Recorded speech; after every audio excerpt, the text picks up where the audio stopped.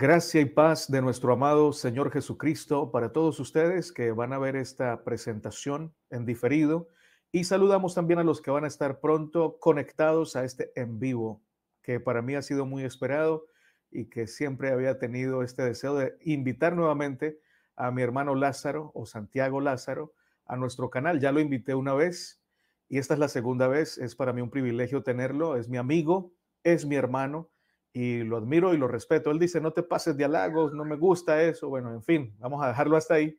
Pero gracias, mi hermano, por aceptar la invitación. Ah, sé que varias personas van a estar hoy conectadas para hacer preguntas y espero que todas sean muy respetuosas. ¿Cómo estás tú? ¿Cómo está en eh, la familia? Pues bien, de momento aquí todo bien. Muy agradecido por la invitación para estar contigo en tu canal y poder hablar un poquito de algunas cosas que para mí son importantes y deseando que, nos hagan preguntas y poderlas responder si sabemos. Con la ayuda del Señor. Muchas gracias, mi querido hermano Santiago. Entonces, bueno, no voy a comenzar tan rápido porque hay que dejar un tiempito para que la gente se conecte. Por lo pronto, quiero invitarlos a todos a reflexionar, a escuchar con atención, con respeto. Hay, hay que hacer siempre llamados a la tolerancia, porque así como a nosotros no nos gusta que nos digan que estamos mal en cuanto a nuestra interpretación o que somos blasfemos, al otro tampoco le gusta eso. Y si una persona tiene un concepto bíblico, una creencia firme, es porque esa persona ya se ha tomado el tiempo de investigar, de cotejar información y ha llegado a esa conclusión de manera sincera. Yo pienso eso de todas las personas, de todas las denominaciones y de todas las personas que están allí. Algunas, pues no, no son de las personas que investigan, pero son de las personas que oran y han orado y Dios les ha dicho que deben estar ahí. Y por eso yo respeto a cada denominación, aunque puedo libremente decir por qué no estoy de acuerdo con las doctrinas, pero respeto a las personas que están allí dentro. Y mi hermano Lázaro es una de esas personas a quien respeto por su creencia y por su sinceridad. Entonces, bueno, comencemos, hermano Santiago, preguntando ¿Por qué crees que la iglesia a la que perteneces es la iglesia de Jesucristo? Él hace parte de los santos de los últimos días, la iglesia de Jesucristo de los santos de los últimos días, que la mayoría de nosotros conocemos como mormones. ¿Por qué crees que es la iglesia de Jesucristo? Bueno, eso es una buena pregunta. Hay una respuesta muy corta y una respuesta un poquito más larga. La respuesta corta es porque tengo un testimonio personal de que el Señor ha restaurado su iglesia en estos últimos días y que tenemos profetas vivientes y que lo sé porque el Señor ha respondido mis oraciones por medio del Espíritu Santo, ha hecho llegar a mi corazón y a mi mente el sentimiento y el conocimiento de que estas cosas son verdaderas. Eso no significa que seamos los mejores, ni los más buenos, ni los exclusivos, sino que desde nuestra más completa humildad testificamos de que el Señor ha restaurado su evangelio en estos últimos días. Eh, podría añadir que muchas personas piensan que ni siquiera necesitamos una iglesia hoy en día, ¿no? Agarrándose al versículo ese que dice donde dos, dos o tres estén congregados en mi nombre, allí estoy yo con ellos, pues cada uno forma su propio grupo, su propio interés o su propia iglesia. Pero si estudiamos más profundamente la Biblia, nos daremos cuenta que este versículo no quiere decir nada de eso. Reunirse en el nombre del Señor significa hacerlo a la manera de Él. Y la manera de Él la encontramos en la Biblia. En la Biblia vemos que Él enseñó el Evangelio, que llamó a unos apóstoles, que les dio la autoridad, que organizó una iglesia y que esa iglesia siguió después de, su muerte y resurrección. Y por lo tanto, reunirnos a la manera del Señor es hacerlo conforme a lo que Él estableció como iglesia. Ahora, la pregunta sería, ¿cómo tiene que ser esa iglesia para que yo crea que está en la verdad? Hay dos cosas que son importantes para mí. para proceso de conversión es que sea razonable y sobre todo que sepa yo por mí mismo que es verdadera. Eh, la razonabilidad está en la Biblia, es el modelo bíblico que nos dice que, Cristo fundó una iglesia, y le dice a Pedro, sobre esta roca fundaré la iglesia, estaba hablando de la revelación, aquí hay una discusión entre católicos y protestantes siempre, de que si es Pedro o no es Pedro, eh, para nosotros es la revelación, porque le dice, bienaventurado eres Simón, hijo de Jonás, porque no te lo reveló carne ni sangre, sino mi Padre que está en los cielos. Y sobre esta roca, la revelación, es sobre la que se funda la iglesia. De hecho, Pablo lo, afirma en Efesios 2 cuando dice la iglesia está fundada sobre apóstoles y profetas. Entonces, esta iglesia organizada sobre apóstoles y profetas tiene unas características bíblicas que podemos ver y podemos comprobar que sean verdaderas. Eh, la iglesia de Jesucristo de los últimos días está organizada por medio de apóstoles y profetas, tiene la autoridad del sacerdocio, que recibió el profeta José Smith en manos de los apóstoles originales que se le aparecieron, Pedro, Santiago y Juan, y le dieron la autoridad del sacerdocio. Y creemos que tenemos la revelación actual, que tenemos un profeta que también recibe revelación, como vemos en los hechos de los apóstoles, que todos los apóstoles eh, siempre eran guiados por el Espíritu. Y el Espíritu me ha dicho, y el Espíritu me ha prohibido, o el Espíritu me dice, o el Espíritu nos llevó. Vemos que esa frase se repite reiteradamente, porque no es la obra del hombre la que hacemos, es la obra de Dios que para hacer la obra de Dios tenemos que hacerla conforme a su voluntad. Y es por el Espíritu Santo que, debemos hacer estas cosas. Esa sería la parte razonable, pero esta parte yo no la conocía cuando me bauticé en la iglesia, yo tenía 15 años, venía de una familia muy buena, pero no creyente. éramos católicos forzosos, que digo yo, porque entonces no existía otra cosa. Yo nací en la época de la dictadura de Franco y la religión era obligatoria y no podíamos hacer otra cosa, pero mis padres no eran creyentes. Yo cuando conozco la iglesia, eh, estas cosas no las conocía porque no conocía la Biblia, pero sí que vi en las misioneras que, predicaban el Evangelio eh, ese, ese amor y ese espíritu que demuestran que eran verdaderas siervas de Dios. Ese espíritu es el que me atrajo a mí, el que me espiritualmente me sedujo, por decirlo de alguna manera, y que me hizo seguir investigando. Entonces, eh, mi verdadera testimonio no vino por este razonamiento, esto vino después para, dijéramos, para ratificar. Mi verdadero razonamiento, mi verdadero sentimiento vino, pues como lo dice, me gustaría compartirlo, en 1 Corintios, capítulo 2, eh, Pablo dice, así que hermanos, cuando fui a vosotros para anunciaros el testimonio de Dios, no fui con excelencia de palabras o de sabiduría, pues me propuse no saber entre vosotros cosa alguna, sino a Jesucristo y este crucificado. Y estuve entre vosotros con debilidad y mucho temor y temblor. Y ni mi palabra ni mi predicación fue con palabras persuasivas de humana sabiduría, sino con demostración del Espíritu y de poder, para que vuestra fe no esté fundada en la sabiduría de los hombres, sino en el poder de Dios. Ahí se basa mi testimonio y mi creencia en que está la Iglesia de Cristo. Porque por medio del Espíritu Santo, sin palabras persuasivas, sin conocimiento excesivo, sino por demostración de espíritu y poder pude saber que era verdadera. Porque, como dice en el 10, porque Dios nos la reveló a nosotros por el espíritu, porque el espíritu todo lo escudriña aún lo profundo de Dios. Esa es la clave de mi testimonio. Esa es la clave de mi testimonio. Y yo supe por mí mismo que eh, la iglesia era verdadera. Que este, que es mi libro de Mormón original, que tiene ya 48 años, eh, es la palabra de Dios junto con la Biblia y que estos dos son para nosotros luz, conocimiento y sabiduría de Dios para edificarnos. Hay otro versículo que me gusta mucho también, está en Lucas 24, 32, cuando Cristo ha muerto y resucitado y dos, y algún, dos discípulos, camino de Maús, se encuentran con él y no lo reconocen, le cuentan lo que ha pasado y él empieza a contarle las escrituras y en el versículo 32, después de que desaparece de su vista, les dice, después de que se les abren los ojos, dice, se decían el uno al otro, ¿no ardía nuestro corazón en nosotros mientras nos hablaba por el camino y cuando nos abría la escritura?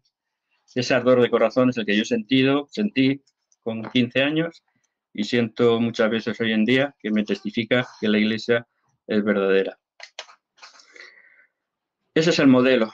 Ahora puedo decirlo ya con más conocimiento. Ese es el modelo eh, de la Biblia. Es el modelo que siguió nuestro nuestro primer profeta, no el fundador, muchos dicen el fundador, el fundador de la iglesia es Jesucristo, no es José Smith.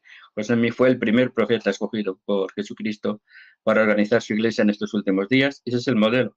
Él también tenía dudas, fue a orar, como decía Santiago 1.5, el que tenga falta de sabiduría, pida a Dios, fue al bosque a orar, y Dios el Padre y su Hijo Jesucristo se le aparecieron y le dijeron que en ninguna iglesia estaba en la verdad y que sería restaurada por medio de él en un futuro.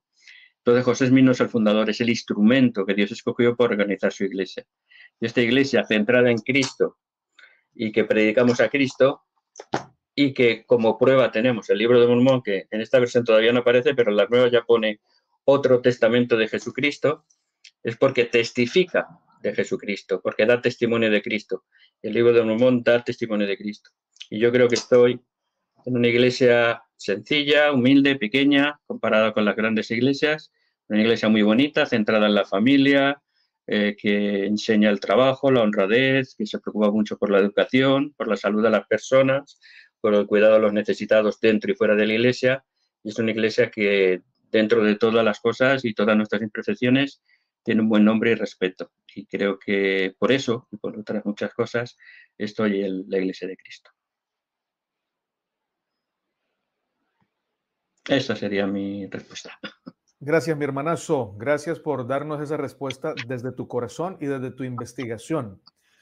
Otra pregunta que nos gustaría hacer, esperándola del público más adelante, vayan pensando qué le van a preguntar. Ah, tenemos la oportunidad de oro de preguntarle a una persona que conoce de primera mano la doctrina de los santos de los últimos días. Pueden preguntarle acerca del infierno, de los niveles de gloria en el futuro, Vayan pensando qué le van a preguntar. Yo le quiero preguntar esta. ¿Qué dices tú cuando alguien afirma que tú no eres hermano y que tu iglesia es una secta, que es falsa? A mí me han dicho, por ejemplo, no invite a los mormones porque ellos no son nuestros hermanos. Y yo he dicho, para mí sí lo son y son mis hermanos en Cristo. ¿Qué dices tú a esas personas? Pues ayer, sin ir más lejos, en un chat de, un grupo que compartí un, artículo, enseguida empezaron a decírmelo y a insultarme y a, llamarme de todo, ¿no? Y yo les dije, bueno, pues soy muy buenos cristianos cuando insultáis a los demás. Pero bueno, eso no es lo que diría. En general, lo que diría es que tienen todo el derecho del mundo a no creer lo que yo digo. Por supuesto, cada uno tiene el derecho a creer en conciencia lo que, lo que sea correcto para, para, su entendimiento. Yo no condeno a nadie en absoluto. Nosotros, como iglesia, aunque creamos que, tenemos la verdad restaurada de Jesucristo en nuestra iglesia, no condenamos a nadie, ni, ni juzgamos, ni criticamos a nadie. Creemos que todo el mundo tiene parte de luz, parte de verdad, y siempre nuestra oposición es venir y compartamos la luz que tengamos y, iluminémonos unos a los otros para ver en qué podemos edificarnos unos a otros. Como tú y yo hemos hablado muchas veces también, eh, cada persona tiene su necesidad, tiene sus circunstancias, tiene sus momentos también y no podemos eh, interpretar o aunque quisiéramos con todo el afán de nuestro corazón a las veces compartirlo, pues no podemos eh, impulsar o manejar a las personas como, como nos gustaría, ¿no? sino que tenemos que dejar que cada uno crea lo, lo que sea necesario.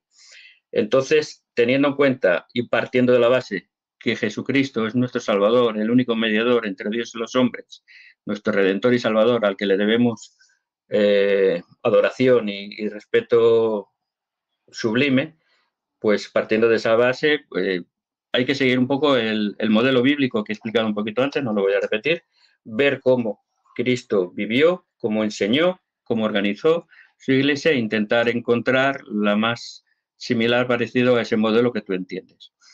Pero eh, teniendo en cuenta tres, características o tres situaciones diferentes, yo diría tres cosas a las personas que, dicen que, yo no tengo la verdad o que mi iglesia es esto o lo otro, que es una secta, que no sé cuánto. Bueno, yo puedo demostrar que no es, por supuesto, porque no, no reúne ninguno de los requisitos de, de los modelos serios de lo que es una secta. Pero a la persona primera que viniera y me dijera eso, le diría, ven y ve. Porque lo primero que hay son muchísimos prejuicios acerca de, la iglesia de Jesucristo. Enseguida se saca que si la poligamia, que si apariciones, alucinaciones, falsos profetas y demás.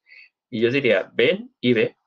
Pruébalo por ti mismo. No escuches lo que has escuchado, no pongas tus prejuicios por delante de la sabiduría sino que ven y ve. Le invitaría a que viniera a la iglesia, que viera cuáles son, cómo son nuestras reuniones, qué espíritu se, puede ver ahí, cómo son las personas dentro de sus imperfecciones, que venga a la iglesia, o que si conoce a un miembro de la iglesia, que lo conozca a fondo, que lo analice, incluso que lo investigue, para ver qué tipo de personas son los resultados de, nuestra iglesia. Y si quiere primero una, un acercamiento más impersonal, pues hay una página que es www www.veniracristo.org y ahí puede encontrar información básica de la iglesia y puede encontrar también pues, un libro de mormón gratuito que se lo enviaremos eh, muy gustosamente para que usted pueda comprobar si este libro es la palabra de Dios o no lo es. Si ya llegamos a un poquito más avanzado, el segundo punto, eh, a una persona le diría, ven y hablemos. Y entonces ya pasaríamos a la segunda fase, ya nos conocemos un poquito, hemos vencido los prejuicios, ven y hablemos. Hablemos de Cristo sobre todo, esta es la iglesia de Jesucristo. Por eso no queremos que nos llamen mormones, porque ya mormón se ha, asociado a muchas otras cosas y queremos que nos reconozcan como la iglesia de Jesucristo.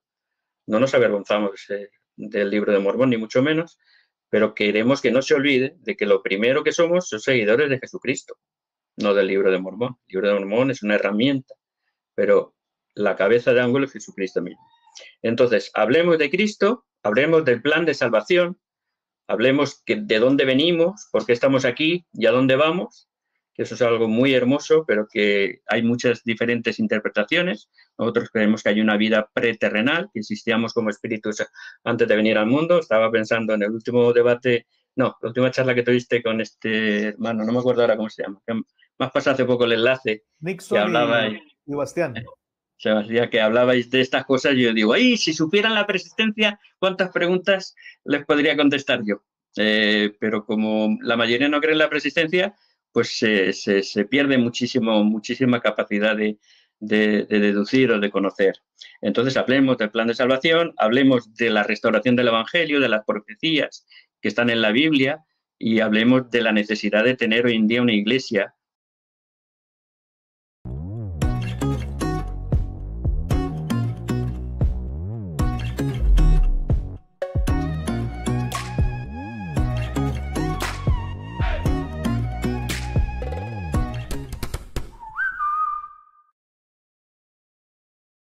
que sea instrumento, porque la iglesia no es la salvación, la salvación está en Cristo, pero Cristo tiene un instrumento para llevarnos a Él, para enseñarnos eh, todas las cosas como Él desea y ese instrumento es su iglesia que la ha restaurado.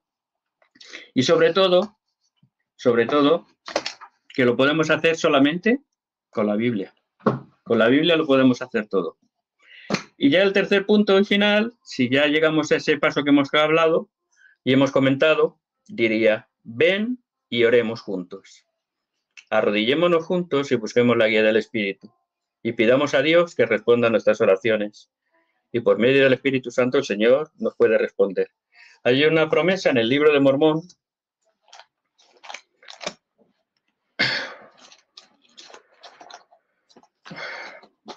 y con esto termino esta parte.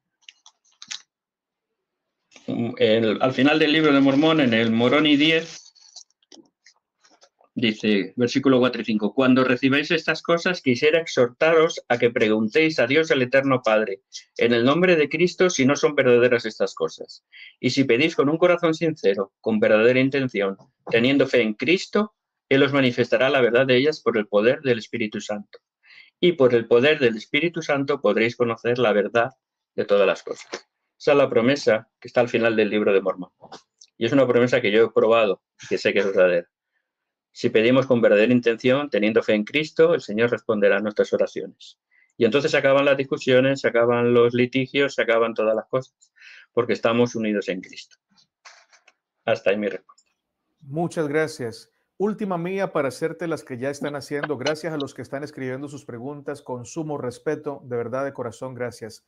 Eh, bueno, la última mía es, em, hablaste ya del libro del mormón hay muchos cristianos que afirman que si se le agrega a la revelación de Dios, se está incurriendo en una maldición y también usan el texto que dice no hay que pensar más allá de lo que está escrito. Y obviamente el libro del Mormón es posterior a todo esto que dijo Pablo y Juan. ¿Ustedes qué afirman de esto? ¿Cómo se comprueba de que sí es una revelación del Señor? Bueno, pues eh, aquí puedo hacer varias, varias eh, como diría yo, varias exposiciones. Primero, eh, el libro de Mormón se tradujo por el poder y don de Dios en, en 1829-30, se publicó, pero el libro de Mormón es tan antiguo como la Biblia. De hecho, el libro de Éter empieza en la Torre de Babel, por ejemplo, y luego el libro de, de Nefi empieza un poco antes de la caída de Jerusalén en manos de los babilonios. Y son historias de personas del pueblo de Israel que emigraron, llevados por la mano de Dios, al continente americano y donde allí siguieron con su cultura, con sus costumbres y sobre todo con su religión. Allí tuvieron sus profetas, tuvieron sus eh, dificultades, tuvieron sus predicaciones, eh, tuvieron sus rebeliones y revelaciones y el libro de Mormón recoge todas estas cosas. Por lo tanto, eh, aunque lo tengamos ahora, es un libro históricamente antiguo también y que, lógicamente, eh, cuando me dicen que no hay que ir, por supuesto, no vamos a ir más allá de lo que está escrito, porque el libro de Mormón coincide en armonía perfectamente con la Biblia. No tiene nada que contradiga la Biblia, ni mucho menos ni la Biblia dice nada que contradiga el libro de Mormón. Cuando hablamos de, por qué ese tercer testamento, que, que, le llamamos nosotros al libro de Mormón, pues me viene a la mente la escritura que dice, por boca de dos o tres testigos se decidirá todo asunto. Y realmente, eh, yo, la otra que decías, Cristo, si, doy mi testimonio, mi testimonio no es verdadero, pero el Padre testifica de lo que yo hago. Porque como dice la ley, por dos testigos se decidirá todo asunto. Por lo tanto, estamos viendo de que la Biblia de por sí, por desgracia, ha generado muchísimos, cientos, miles de interpretaciones y hay tanta confusión hoy en día que, es difícil encontrar la verdad. Y yo siempre pongo un ejemplo, no sé si me permites que haga un poco de pedagogía aritmética, por un punto, ¿cuántas líneas pueden pasar? Infinitas, ¿no? Esto es lo que ha pasado con la Biblia. Hay infinitas interpretaciones. Sin embargo, si tomamos dos puntos, dos testigos, el libro de Mormón y la Biblia, ¿cuántas líneas pueden pasar por ellos a la vez? Solamente una. Eso sería la importancia del libro de Mormón, porque nos da una segunda interpretación por Dios, no por el hombre, de las verdades eternas. Y por eso es tan importante y tan inspirador el libro de Mormón. Sin embargo, también lo que hay, por desgracia, es mucha hipocresía en aquellos que nos acusan. Nosotros, por ejemplo, el artículo de número 8, que es una declaración que hizo José Smith para un periódico eh, a principios de la organización de la Iglesia, y se definieron como artículos de fe. Y hay 13, el número 8 dice creemos, creo que es el 8, a ver si ahora alguien me corrige, probablemente, dice creemos que la, palabra, eh, la Biblia es la palabra de Dios hasta donde esté correctamente traducida. Y también creemos que el libro de Mormón es la palabra de Dios. Y siempre se agarran a ese artículo de fe o al uso que hacemos del libro de Mormón para decir que no creemos en la Biblia, que la infravaloramos, que la menospreciamos. Pero yo preguntaría, porque repito, hay mucha hipocresía en este sentido. ¿De qué Biblia estamos hablando? ¿De la Biblia protestante que tiene 66 libros? ¿O de la Biblia católica que tiene 73 libros?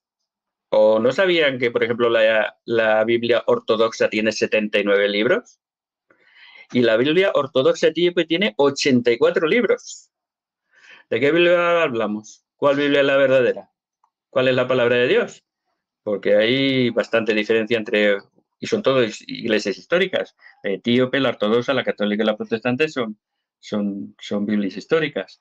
Entonces, eh, en vez de acusar a los demás de que estamos añadiendo cosas, examínense ustedes. Sabemos que hay muchas diferencias en la Biblia, que hay muchas traducciones incorrectas. Hay muchas discusiones hoy en día.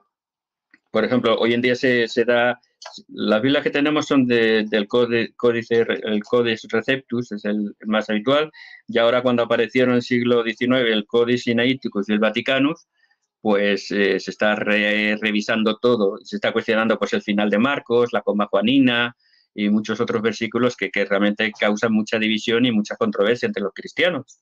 Pero saben, por ejemplo, que entre estos dos códices que no son originales, que son del siglo IV, el más antiguo, que no tenemos ningún manuscrito original, ni un pedacito de manuscrito original de la Biblia.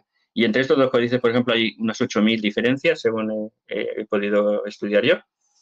Es decir, que ni siquiera entre los códices se ponen de acuerdo, no tenemos originales, no hay eh, acuerdo entre qué Biblia es la correcta o la correcta, pero sin embargo sí que critican al libro de Mormón. Pues mira, yo creo en la palabra de Dios, creo que podemos entenderla, creo que está en la Biblia, creo que está en el, en el libro de Mormón. Y creo que sobre todo por medio del Espíritu Santo podemos saberlo, como hemos dicho antes. Porque la Biblia es la palabra de Dios y el libro de Mormón es la palabra de Dios. Y solo podemos saberlo por medio del Espíritu Santo. Primera de Pedro, un par de escrituras que me gustan mucho.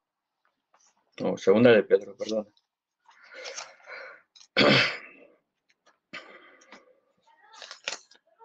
Segunda de Pedro, capítulo 1, versículo 20-21 nos dice, Entendiendo primero, no, el 19. Tenemos también la palabra profética más segura, que hacéis bien en estar atentos, como antorcha que alumbra al oscuro.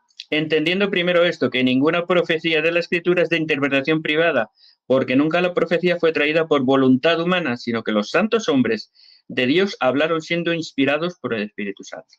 Así la palabra de Dios no es un escrito de un hombre, es la inspiración de Dios a un hombre santo, a un profeta, a un apóstol, y esa palabra, por el Espíritu Santo, se convierte en palabra de Dios. Y para entenderla, tenemos que entenderla por medio del Espíritu Santo.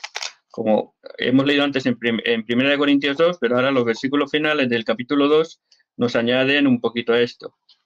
Versículos 10 al 13 dice, porque Dios nos la reveló a nosotros por el Espíritu, porque el Espíritu todo lo escudriña aún lo profundo de Dios, porque ¿quién de los hombres sabe las cosas del hombre, sino el espíritu del hombre que está en él. Así tampoco nadie conoció las cosas de Dios, sino el espíritu de Dios. Y nosotros no hemos recibido el espíritu del mundo, sino el espíritu que proviene de Dios para que sepamos lo que Dios nos ha concedido. Por lo cual también hablamos no con palabras enseñadas con sabiduría humana, sino con las que enseña el espíritu, acomodando lo espiritual a lo espiritual. Entonces, la Biblia, la palabra de Dios, tenga 66 libros, que tengo 84, si la leemos por medio del Espíritu Santo, y el libro de Mormón es la palabra de Dios, si oramos y le preguntamos al Señor y podemos verlo. Así de claro, los dos son inspirados dentro de sus errores eh, o dentro de sus malas interpretaciones o dentro de que nos falten los originales, pero podemos encontrar sabiduría, podemos encontrar verdad, podemos encontrar principios poderosos tanto en la Biblia como en el libro de Mormón, y lo que tenemos que hacer es leerla con la guía del Espíritu Santo. Por eso es importante pertenecer a una iglesia que no solo te bautice en agua, sino te bautice con fuego y con Espíritu Santo por medio de la imposición de manos, que es lo que creo que solamente hacemos los miembros de la Iglesia de Jesucristo de los Santos de los Últimos Días. Todos los demás creo que no practican esta ordenanza que la vemos en el libro de los Hechos, pero que creo que solamente nosotros, dando y se practicamos. Pero es el Espíritu el que nos puede guiar. Muchas gracias. Muchas gracias a usted, mi querido hermano Santiago, por sus respuestas pacientes. Queremos recordar por qué hacemos estos videos, porque queremos explorar eh, las respuestas de las personas honestas y sinceras que creen firmemente en su doctrina, tener de primera mano información de unos hermanos nuestros que quizá no piensen como nosotros, pero así los entendemos mejor y así los amamos más, porque vamos a escuchar de primera mano. Generalmente uno escucha, no creo en los mormones, así dicen, porque son unos blasfemos y ta, ta, ta, pero eso no es de primera mano. Lo está diciendo personas incluso que nunca han sido. Él siempre, bueno, ya lleva muchos años siendo mormón o santo de los últimos días, como le gusta ser llamado, y bueno, nos, nos puede entregar de primera información, ya por experiencia, lo que cree. Voy a hacerte la primera pregunta de uno de los que están escuchando.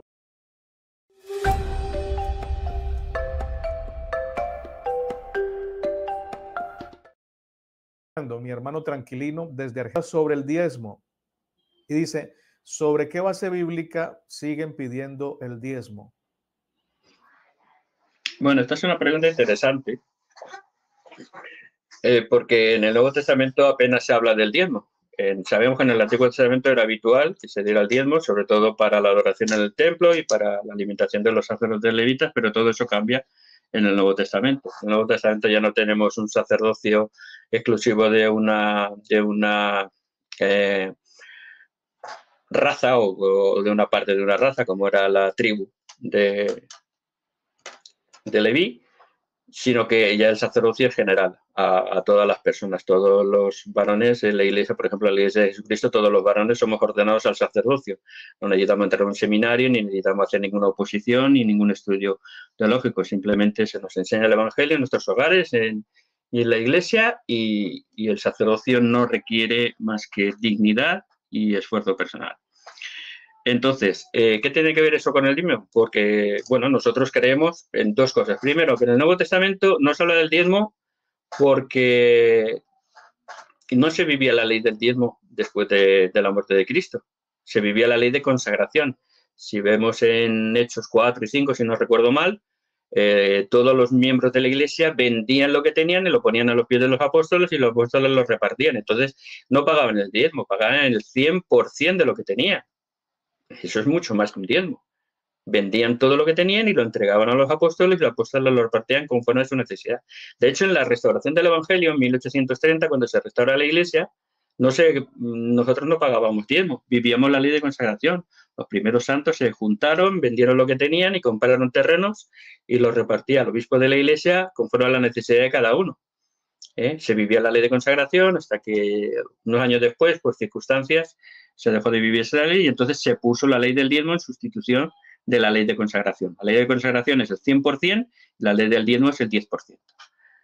Sin embargo, en el Nuevo Testamento tampoco está condenado. Cristo hablaba del diezmo y dijo que tenían, cuando le dice a los fariseos que diezman, que diezman la menta y en el eldo, dicen, tenéis que dejar hacer de esto sin dejar de hacer aquello. Es decir, que, que, lo importante no es el dinero que se pague, sino el espíritu y el, y el sentimiento del corazón con que se hace, pero nunca condenó el diezmo pero ya te digo, cómo se pagaba, como se pagaba el diezmo, eh, no se pagaba el diezmo, sino que se ofrendaba todo, pues lógicamente el diezmo no aparece, no aparece en el Nuevo Testamento, solo aparecen ofrendas para los pobres, pero además iba junto, el diezmo va con las ofrendas. Si desaparece el diezmo en el Nuevo Testamento, las ofrendas deberían de haber desaparecido, y las ofrendas se siguen recogiendo, se siguen ofrendando y se siguen pidiendo. Y muchos de los que condenan el diezmo les encantan las ofrendas. Entonces, lo que no podemos es separar una cosa de la otra, porque eran diezmos y ofrendas, iban juntas. Entonces, eso creo que sería mi explicación. En el Nuevo Testamento se cambian muchas cosas, pero el espíritu de consagración, el espíritu de, de aportar cosas para el cuidado de la iglesia, para el cuidado de las personas y para la edificación del reino de Dios, es el mismo en el Antiguo que en el Nuevo Testamento. Pero como en el Nuevo Testamento se empieza a vivir una ley superior, lógicamente estas cosas eh, no se especifican tan claramente, pero están ahí. Y nosotros creemos, además, en la revelación moderna. Por eso he dicho que cuando se restaura la iglesia se empieza a vivir la ley de consagración y cuando la ley de consagración se, cambia por la ley del diezmo, a partir de entonces eh, nuestras aportaciones son del 10% solamente de, nuestros ingresos, que la ley del diezmo y, lo, y, lo, y se hizo por revelación en estos últimos días. Y vivimos la ley del diezmo porque el Señor así lo ha revelado al profeta José Smith y desde entonces pues, es la ley económica o la ley financiera que rige la Iglesia de Jesucristo de los santos de los últimos días. Muchas gracias, mi querido hermano Santiago. El hermano Santiago tiene un canal también acá en YouTube muy interesante, se llama Mormón Defender. Así que debajo de este video les voy a dejar el enlace del canal para que ustedes vayan y ahí hay muchas respuestas a muchas preguntas y conozcan de fondo y de primera mano, como hemos dicho, esta información. También si algún católico, presbiteriano o algún pentecostal quiere venir algún día a hacer un en vivo aquí para que le hagamos preguntas con respecto a su doctrina, será muy bienvenido también. Eh, mi hermanazo, aquí hay otra pregunta muy interesante de Verónica. Dice, disculpen mi ignorancia. Yo voy con una pregunta para ponerme en contexto. ¿Son los mormones lo mismo que los testigos de Jehová? Bueno, absolutamente no. De hecho, hice yo un vídeo en mi canal. Hice un vídeo del diezmo, lo pueden ver, eh, y hice un vídeo de las diferencias entre testigos de Jehová y santos de los últimos días, y la diferencia es abismal. ¿Qué pasa? Que los prejuicios y las apariencias siempre te hacen, te hacen parecer que sea lo mismo, ¿no? Eh, porque, bueno, nosotros hacemos mucho hincapié en la obra misional, tenemos jóvenes que son muy evidentes que predican el Evangelio, los testigos de Jehová también, el origen es en el mismo siglo y en el mismo país y ya pues ya te encasillan ahí. Eh, que eso me gustaría hacer un día un, programa especial, ¿por qué la Iglesia nació en Norteamérica? Es una de las cosas más denostadas, pero tiene una explicación muy interesante. Pero bueno, visto esa parte, se sacan tres o cuatro eh, similitudes y ya se dice, no, pues son todo lo mismo. Pues no, mire, nosotros tenemos un profeta viviente que, que nos revela la verdad Creemos en la revelación moderna, creemos en milagros, el sacerdocio es la autoridad que tenemos todos nosotros, eso no lo creen los testigos de Jehová, nosotros creemos en Jesucristo, que es Dios Todopoderoso, los testigos de Jehová creen que Jesucristo es menos poderoso, que es, de hecho es Miguel el Arcángel, los testigos de Jehová creen que no tenemos un espíritu inmortal que sobrevive al cuerpo al morir. Nosotros creemos que tenemos un espíritu inmortal, sobrevive al cuerpo antes de morir y de hecho preexistía antes. Nosotros creemos en, hay muchísimas cosas que los testigos de Jehová no creen. Por lo tanto, no tiene que ver. Nosotros no exigimos obediencia absoluta a nuestros líderes, ni mucho menos, como lo exigen ellos. Nosotros no rechazamos a los que se alejan de nuestra iglesia, no expulsamos a, todas las personas, no tenemos una policía en cada, en cada barrio. Eh, nosotros somos donantes de sangre, tenemos premios de la Cruz Roja en España, que tenemos como cuatro o cinco premios de la Cruz Roja Española por ayudar en las campañas de donación de sangre. Nosotros tenemos un programa de, ayuda a los necesitados que los testigos de no tienen, que no, no ayudan eh, no hace ninguna obra caritativa. Si podríamos estar una hora. Yo tengo un, vídeo en mi canal de, de, eso, de 40 50 minutos con 50 60 diferencias que es completamente en doctrina y en políticas o en normativa, dijéramos, o en costumbres. Nosotros creemos en el estudio, tenemos universidades. Los testigos de Jehová creen que el estudio es una pérdida de tiempo y que no hay que estudiar carreras universitarias en fin, son tantas las diferencias que ya te digo, pueden ver mi vídeo que, que, dura bastante y explica todas estas cosas. ¿El video está en tu canal? Sí, precisamente se llama Diferencias entre Testigos de Jehová y Santos de los Últimos Días. Mormon Defender, ahí pueden buscar este video que está diciendo nuestro hermano. Gracias. Dijiste varias diferencias, bastante drásticas. Bueno, sí, bastante, por eso digo que, no se parece más que dijéramos, el, yo qué sé, eh, es como si ves a dos vestidos de blanco y dice que son lo mismo, y a lo mejor uno es el demonio y otro Jesucristo, pero como van de blanco dice que es lo mismo, pues es que hay que ver un poquito más. Esos son los prejuicios que digo yo, que, que mi, mi, canal y mi blog, que lo inicié hace 13 años, eh, tiene el subtítulo Rompiendo Prejuicios, precisamente acerca de la Iglesia de Jesucristo. Pero qué bueno que la hermana Verónica hizo esa pregunta porque permitió que los que tenían ese prejuicio ya no lo van a tener, por lo menos los que escucharon hoy. Gracias, Verónica, por tu pregunta. Vamos con Bastián desde Chile. Dice, ya estamos acá. ¿Este es Bastián, nuestro amigo Bastián? Sí, este es Bastián y Verónica es la esposa de Nixon, quien también ah, habla de la preexistencia. Ya, aquí un admirador. Oiga, qué amable. Dice, ¿qué pasa si yo no llego al entendimiento de la verdad de Dios que tienen los santos de los últimos días? Luego, si no, no pasa nada, entonces, ¿qué sentido tiene ser santo de los últimos días? Es decir, si no llega a comprender lo que tú comprendiste. Muy buena pregunta, propia de Bastián. Eh, son dos preguntas en realidad. Eh, a ver qué sé. Eh, la comprensión primero y la necesidad de esa comprensión. Vamos a, ver si lo podemos razonar de una forma sencilla. Como he dicho, cada persona tiene su tiempo y su momento. Eh, no pretendemos convertir a todo el mundo, ojalá pudiéramos y que todos pudieran llegar al conocimiento, pero nosotros no pretendemos. Nosotros pretendemos llevar la luz de Cristo a todas las personas y compartir la luz que tenemos. El propósito es que las personas puedan comprender mejor el Evangelio, eh, la escritura dice que habrán falsos profetas, falsos maestros que se volverán a las fábulas y nosotros queremos eh, destruir las fábulas en el sentido bondadoso de la palabra, no en el sentido peyorativo. Queremos eh, derribar esas fábulas que hay en el mundo en diferentes interpretaciones y diferentes, no voy a poner ejemplos porque no, no me gusta criticar, pero por ahí, si ustedes están en el mundo cristiano, verán interpretaciones muy, muy diferentes y muy alocadas. Pueden decir que las mías también lo son, lo acepto, no pasa nada, ¿eh? no me enfadaré por ello, pero, pero hay interpretaciones muy alocadas de Cristo, de la figura de Cristo, de la figura de nuestro Padre Celestial. Entonces nosotros queremos, lógicamente, compartir eso que creemos y es importante que, lo comprendamos. Pero ¿qué pasa si no llegan a comprenderlo? Pues nosotros creemos que Dios es un Padre amoroso, que a Pedro Jesucristo le dijo cuando le preguntó, ¿perdonaré a mi hermano siete veces si pecaré contra mí? Cristo le responde, no te digo siete, sino setenta veces siete. Si Cristo nos dijo a nosotros, entendiéndolo bien, que perdonemos siempre a aquellos que, que nos hacen daño, que no nos comprenden, ¿ustedes no creen que un Padre celestial, perfecto, amoroso, glorioso, grandioso, no nos va a ofrecer oportunidades de arrepentirnos, oportunidades de comprenderlo, oportunidades de conocerlo en esta vida y después de esta vida? Por supuesto que sí, por eso creemos en la predicación del Evangelio en el mundo de los espíritus y por eso tenemos la obra vicaria a, favor de nuestros antepasados y hacemos la obra del templo por ellos, porque creemos que en el mundo de los espíritus las personas cuando salen de este mundo eh, su espíritu que es eterno sigue viviendo y va a lo que llamamos el mundo de los espíritus. Y ahí se les enseña el Evangelio de Cristo para que puedan aceptarlo y comprenderlo. La pregunta, la segunda, sería interesante, sí, claro, pues entonces si el Dios me garantiza en su bondad que me va a dar ese conocimiento ahora o después, ¿para qué me voy a molestar ahora?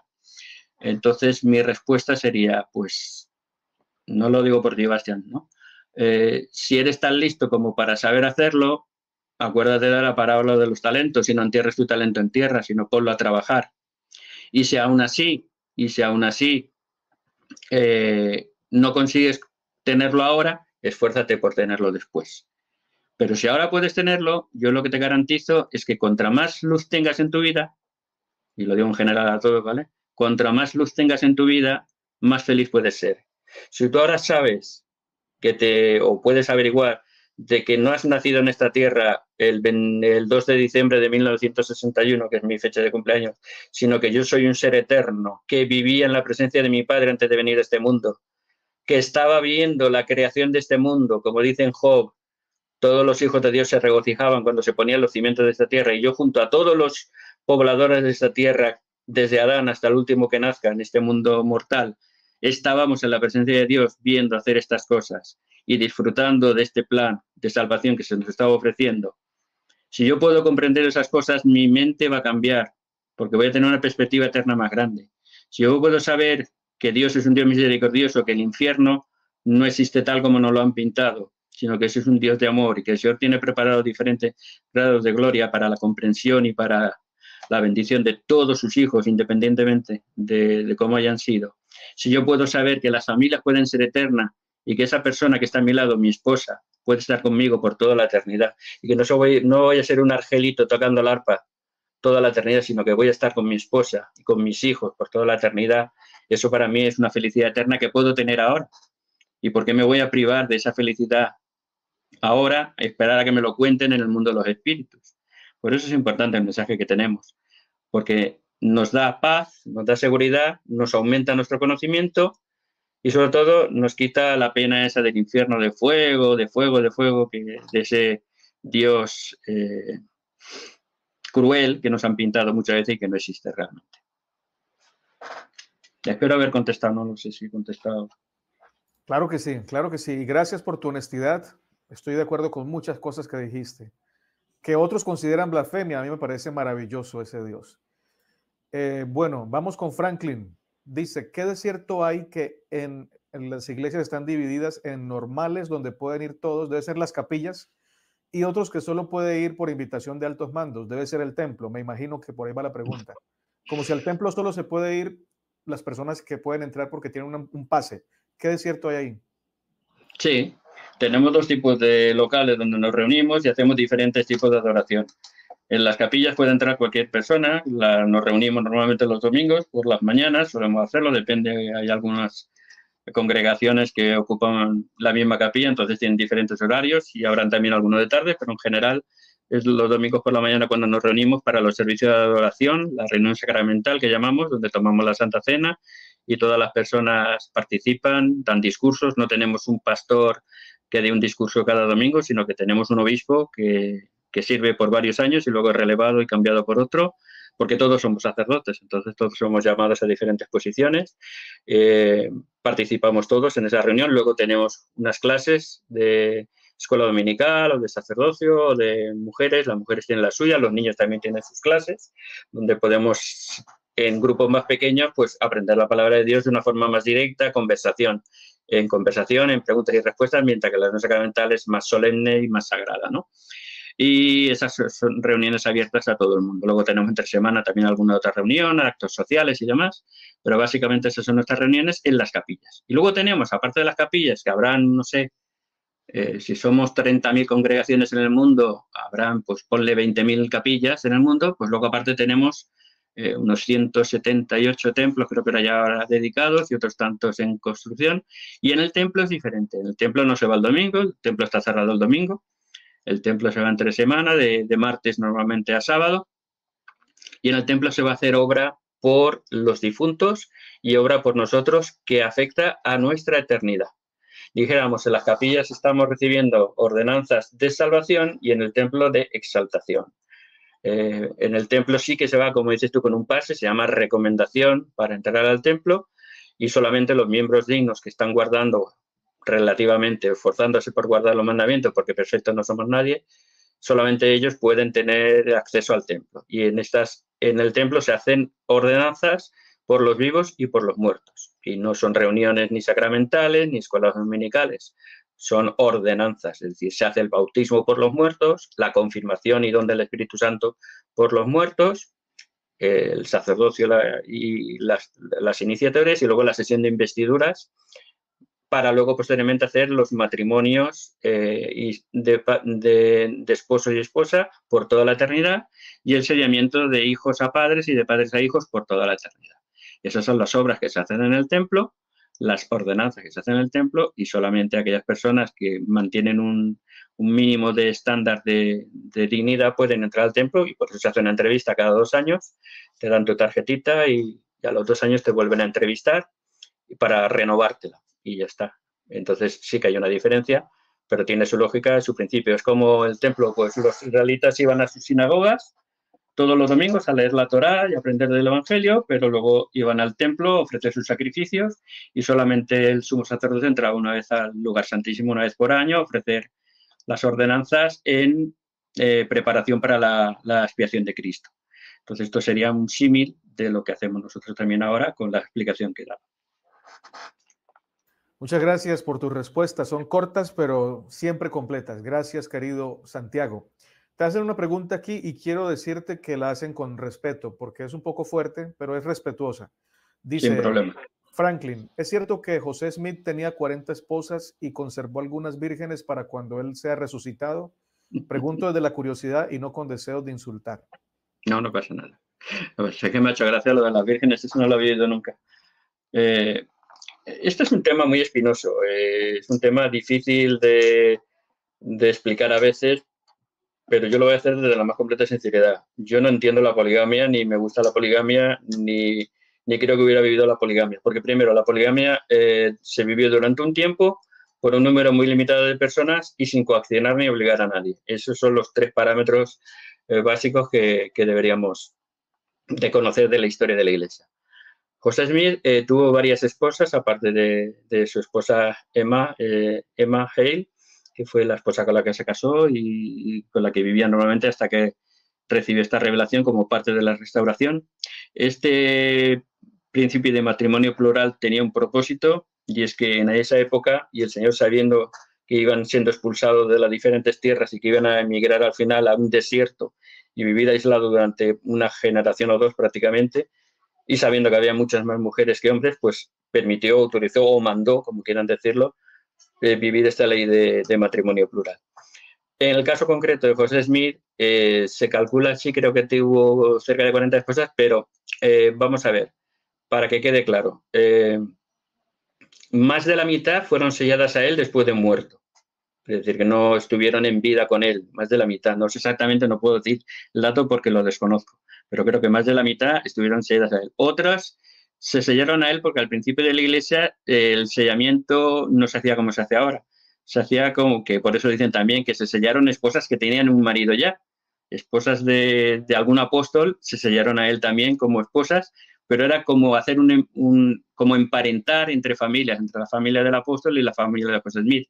Nunca tuvieron eh, ayuntamiento carnal ni tuvieron relaciones, sino que era como una unión espiritual para unirse como familias.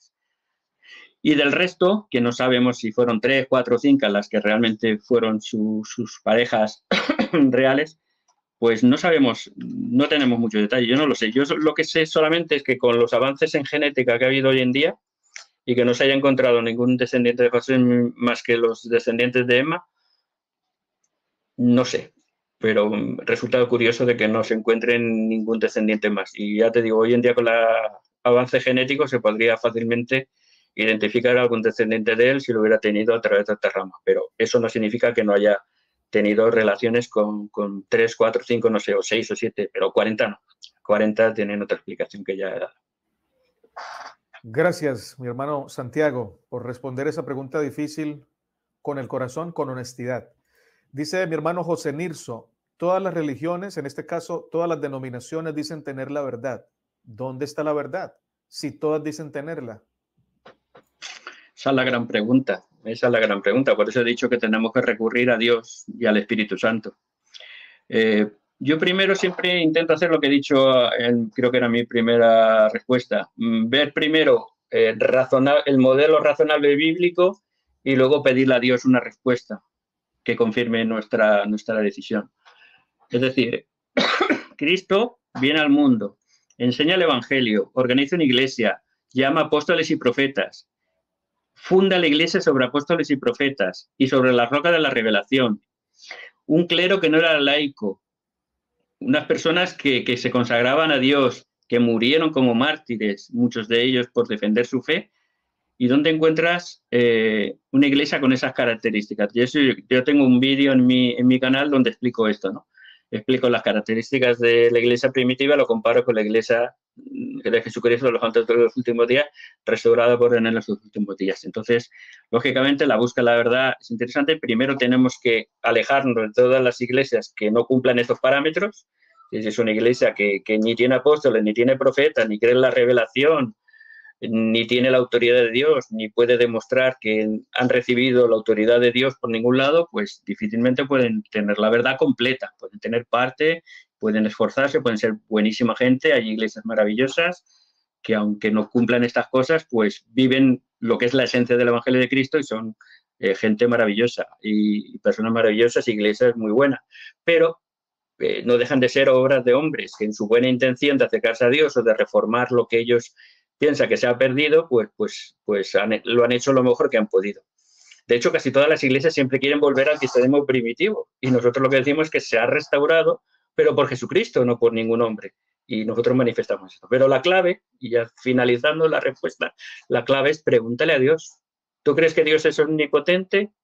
¿Crees que su Padre te ama? ¿Crees que te puede responder una oración? Jesucristo lo enseñó en el Sermón del Monte. Pedid y recibiréis, buscad y hallaréis. Porque si le pides a tu padre un pan, no te va a dar una piedra. Y si le pides un pescado, no te va a dar una serpiente. Pues Dios que es tu padre que te ama, responder a tu oración. Eso es lo que yo sé, porque a mí lo ha hecho. Y yo no soy especial, yo no soy mejor que nadie. Yo soy el último mono. Pero si conmigo lo ha hecho, contigo lo puedo hacer. Pregúntale a él. Ya. Muchas gracias, mi hermanazo. Dice acá eh, Carlos Gatelet, el espíritu es la Torah. Si tiene algún comentario lo puedes hacer, si no, pasamos, no hay problema porque no es una pregunta. ¿Quieres decir algo sobre El es la Torah. Eh, supongo que será, se referirá a volver a los principios del judaísmo o... Yo creo que el Espíritu Santo es un miembro de la Trinidad y está muy claro. El Espíritu Santo es una persona, pero el Espíritu Cristo tiene su cuerpo, resucitó con su cuerpo. El Padre creemos que tiene su propio cuerpo también, glorifica de perfecto, porque como dice Filipenses, creo que 2.16, en Cristo habita corporalmente todo el poder de la divinidad, por lo tanto Cristo Dios con su cuerpo, por lo tanto si Cristo lo tiene, el Padre por lógica tiene que tenerlo, pero el Espíritu Santo no lo tiene porque no, si no, no podría morar en nosotros. Entonces, el Espíritu es un miembro de la Trinidad, es un ser celestial, un ser divino, que testifica del Padre y del Hijo, que es el segundo consolador, y es el que nos lleva a toda la verdad, como hemos leído en Primera de Corintios, como hemos leído en Marcos, o como hemos leído en el libro de Mormón, en Moroni, que nos lleva a toda la verdad y por medio del Espíritu Santo podemos conocer la verdad de todas las cosas. Por lo tanto, el Espíritu es mucho más que la Torah, que la Torah es letra, es la ley, la palabra de Dios, pero el Espíritu Santo es mucho más, es Dios. Gracias, muy bien. Vamos con esta otra pregunta. Abraham Lorenzo desde República Dominicana. Es una pregunta y una afirmación a la vez. Tú puedes responderla como desees. Dice, ¿por qué hay que complicarse tanto con libros y más libros si con solo la Santa Biblia ya es suficiente para ser cristiano? Dice él, ¿será negocio? Bueno, primero empiezo por el final. Eh, ¿Cuánto crees que se gana por el libro de Mormón si lo vamos regalando a todo el mundo? El libro de Mormón lo regalas y siempre se regala normalmente, menos al principio los primeros miembros que, pedían lo, que les había costado porque tuvieron que hipotecarse y todo para, hacer la, primera edición del libro de Mormón y pedían lo que había costado para poder volver a sacar una segunda edición. Desde entonces, hace mucho tiempo, mi nieto. Cierra, por favor, cariño. Desde entonces, eh, hace ya mucho tiempo que siempre el libro Mormón se regala, entonces no hay ningún negocio porque nosotros no cobramos por las publicaciones, no hacemos publicaciones, todo está online ahora mismo y se regala en este mundo. Yo creo que todos los libros que nos hablen de Cristo, sobre todo si es la palabra de Dios, son interesantes.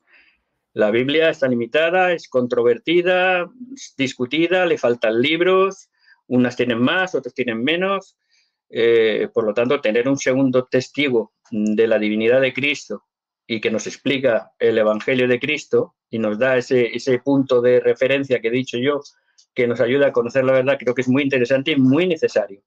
Además, ese es el mejor misionero de la Iglesia. El libro de Mormón ha convertido a más personas que cualquier otra, otra persona.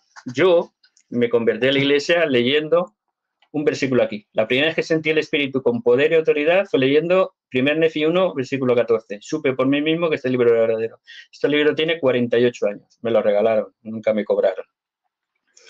Y me atrajo mucho más que la Biblia, porque yo la Biblia la tenía ahí y por desgracia la tenemos a veces y no la valoramos. Sin embargo, a veces también una cosa nueva nos puede atraer a la otra. Y después de leer el libro de uno, me leí la Biblia entera con 15 años me la leí en 8 meses completamente y fue una bendición para mí. Y es un paso que te lleva a la otra. Así es que yo creo que todo conocimiento que es de Dios, si es verdadero, es maravilloso. No te oigo. Sí, Perdóneme que se me olvida colocar el micrófono, es para no hacerte bulla. Gracias por tus respuestas y gracias porque siempre entregas datos en tus respuestas. Eso siempre me, parece muy interesante. Eh, aprovecho la oportunidad para invitar a otra persona de otra denominación que le, guste, le gustaría venir a exponer por qué cree lo que cree y para que le hagan preguntas como las que le están haciendo al hermano Santiago. Si quieren venir, pueden escribirnos y aquí los estaremos recibiendo para que testifiquen de su fe. Eh, dice acá, ¿Qué opina sobre nuestra existencia antes de esta vida? ¿Era en la tierra? ¿Dónde era la existencia o la preexistencia? Interesante pregunta. Pues afortunadamente, gracias a estas revelaciones, otro libro que recibió José Mí por revelación, el libro de, de, Moisés, que está en la perla de gran precio, junto con otras revelaciones que están en Doctrina y Convenios, que son, junto con el libro de Mormón, nuestros cuatro libros canónicos. Nosotros no tenemos un libro canónico, tenemos cuatro. A veces la gente solo conoce el libro de Mormón, pero tenemos dos más, Doctrina y Convenios, que son revelaciones que recibió José Smith, y La Perla de Gran Precio, que es una revelación del libro de Moisés y una traducción de un papiro egipcio, que es el libro de Abraham. Y esto, eh, más la historia de José Smith, es lo que compone lo que se llama la perla de gran precio. En este libro de, Moisés se nos habla de la preexistencia, en el libro de Abraham también se nos habla precisamente de la preexistencia y se nos dice que estábamos en la presencia del Señor. No se nos dice dónde, pero la tierra no había sido creada, por lo tanto la tierra no es. Job, de hecho, en el capítulo 38 dice que se regocijaban los hijos de Dios cuando se terminaban los cimientos de la tierra. Por lo tanto, eh, está claro que nuestra existencia eh, no fue en la Tierra, porque además en la Tierra ya venimos con un cuerpo físico. La Tierra es un estado mortal y físico, mientras que la presencia es un estado espiritual. Es nuestro espíritu, que es anterior a venir a este mundo, es el que vivía en la presencia del Señor, el que allí progresamos, allí aprendimos, y el Señor nos presentó un plan de salvación que incluía crear una tierra, venir a ella, recibir un cuerpo físico, progresar, aprender, eh, ser probados y recibir un Salvador para librarnos de todos nuestros errores, lógicamente, porque al venir solos a la tierra, ya sin estar en la presencia de nuestro Padre, pues lógicamente, y en un mundo además sometido al pecado, pues íbamos a tener muchos errores y necesitábamos un Salvador. Y eso se nos dijo en la persistencia, y nosotros aceptamos a Cristo como nuestro Salvador antes de venir a este mundo. Por lo tanto, nuestra persistencia no fue aquí en la tierra, sino fue anterior a la tierra. Muchas gracias. Bueno, ya llevamos una hora. ¿Cuánto tiempo más nos puedes dar? Porque pues no quiero explotarte. Lo que quieras, tú no tengo problema. Ok, tenemos media hora, entonces como son muchas preguntas, la gente está muy interesada en lo que estás exponiendo. Adelante. Tengamos media hora más y entonces ya sabes para que para cada pregunta tenga dos minutos más o menos. Dice Carlos Gatelet, muy interesante el diálogo, gracias por ver lo positivo. Muchas gracias. Dice Joana, muy buenas, muy buenas tardes. En algunas oportunidades o en alguna oportunidad hablé con una persona que asiste a la iglesia de Jesucristo de los santos de los últimos días y dijo que incluso se bautizan en nombre de sus familiares muertos para que alcancen salvación. ¿Qué le dices? Bueno, eso es lo que he explicado un poquito antes, que nosotros cuando vamos al templo practicamos lo que se llama el bautismo por los muertos. Tengo un vídeo, varios vídeos y debates sobre este tema en mi canal. Pueden ver varios debates que he tenido sobre el bautismo por los muertos con católicos, con evangélicos y luego una presentación en un canal de testigos de Jehová y luego creo que tengo un vídeo mío solo eh, explicando el tema.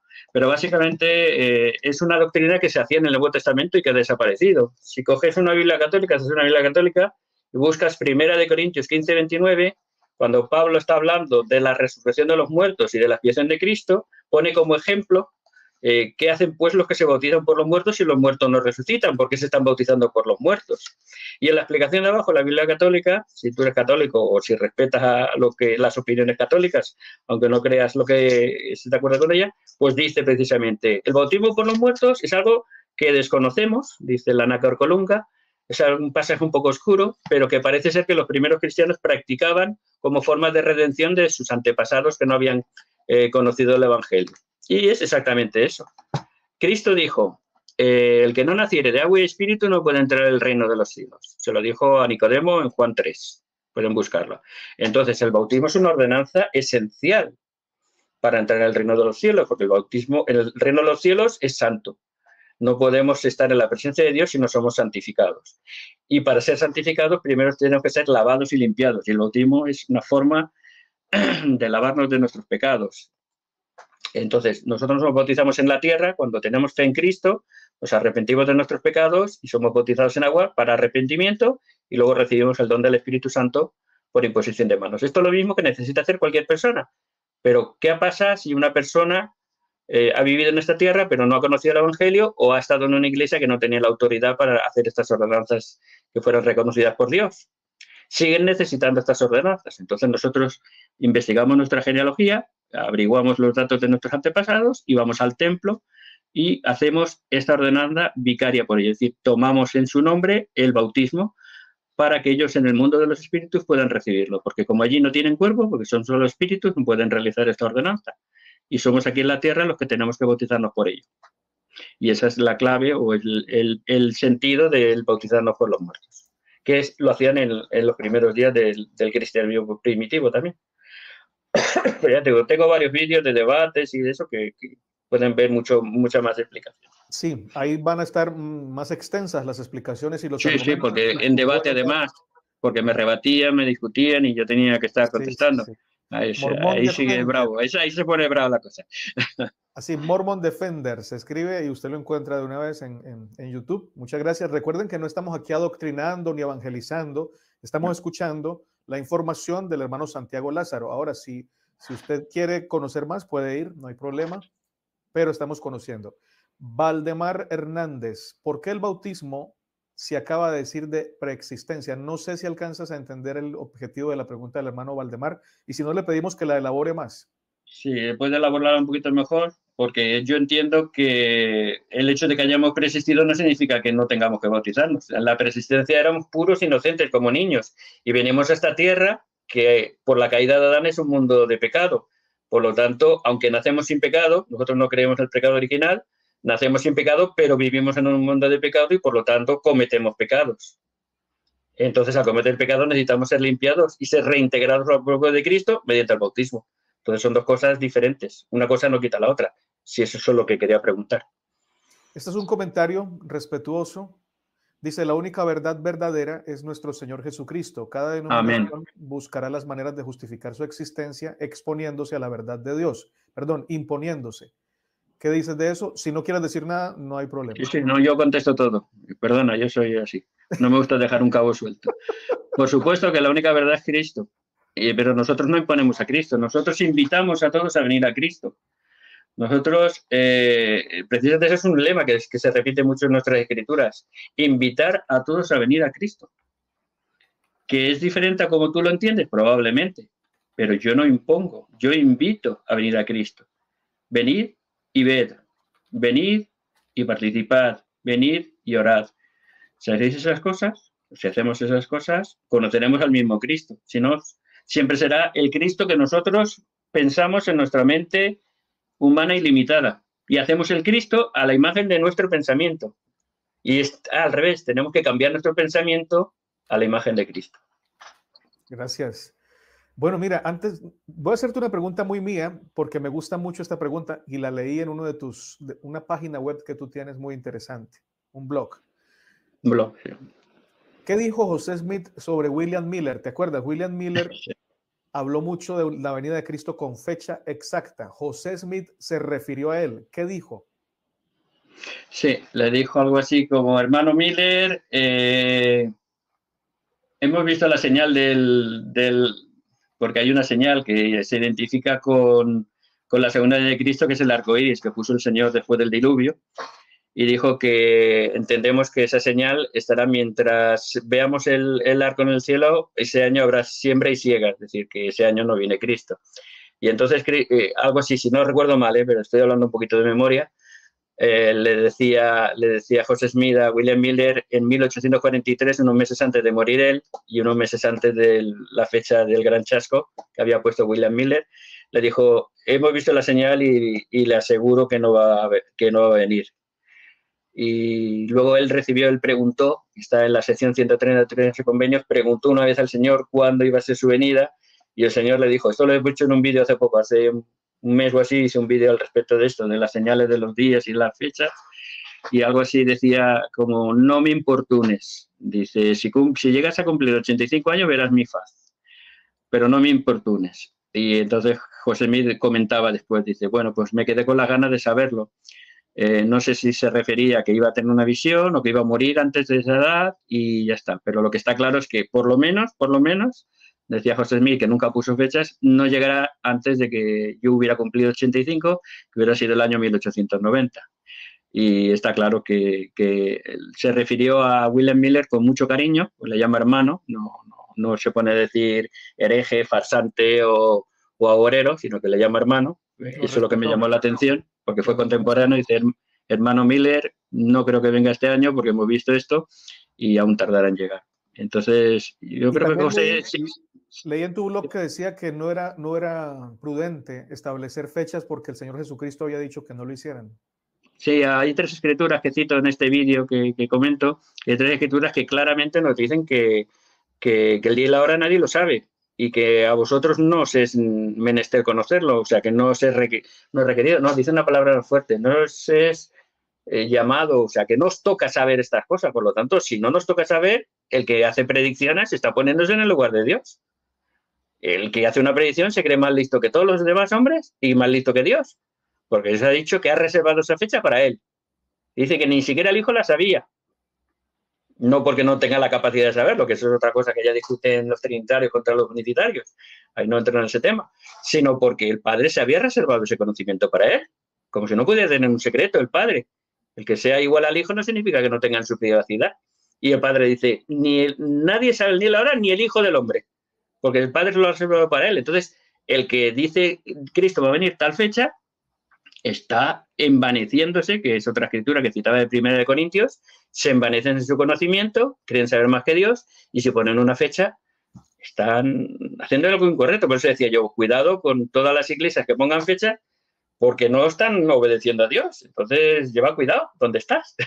Sin, con todo mi respeto, porque José me decía, entre otras cosas, que respetaba el derecho. Dice que él moriría por el derecho a que un hombre viviera su religión conforme a los dictados de su conciencia, fuera metodista, presbiteriano o católico, que moriría por el derecho a que cada uno adorara a Dios como quisiera. Eso es el principio básico, el respeto a los demás. Pero si vamos a hablar de doctrinas, pues analicemos a la luz de la Biblia lo que dicen.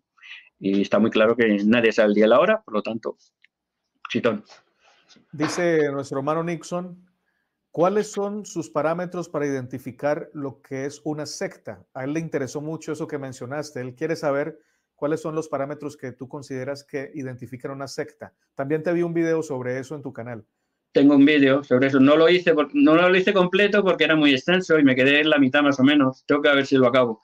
Eh, yo siempre cojo como modelo el, el modelo BITE, BITE en inglés, que es Behavior, Comportamiento, Information, eh, a ver, comportamiento, información emoción y me dejo uno, que es de, del escritor, ahora se me olvida yo, ya estoy mayor, ya se me olvidan los nombres.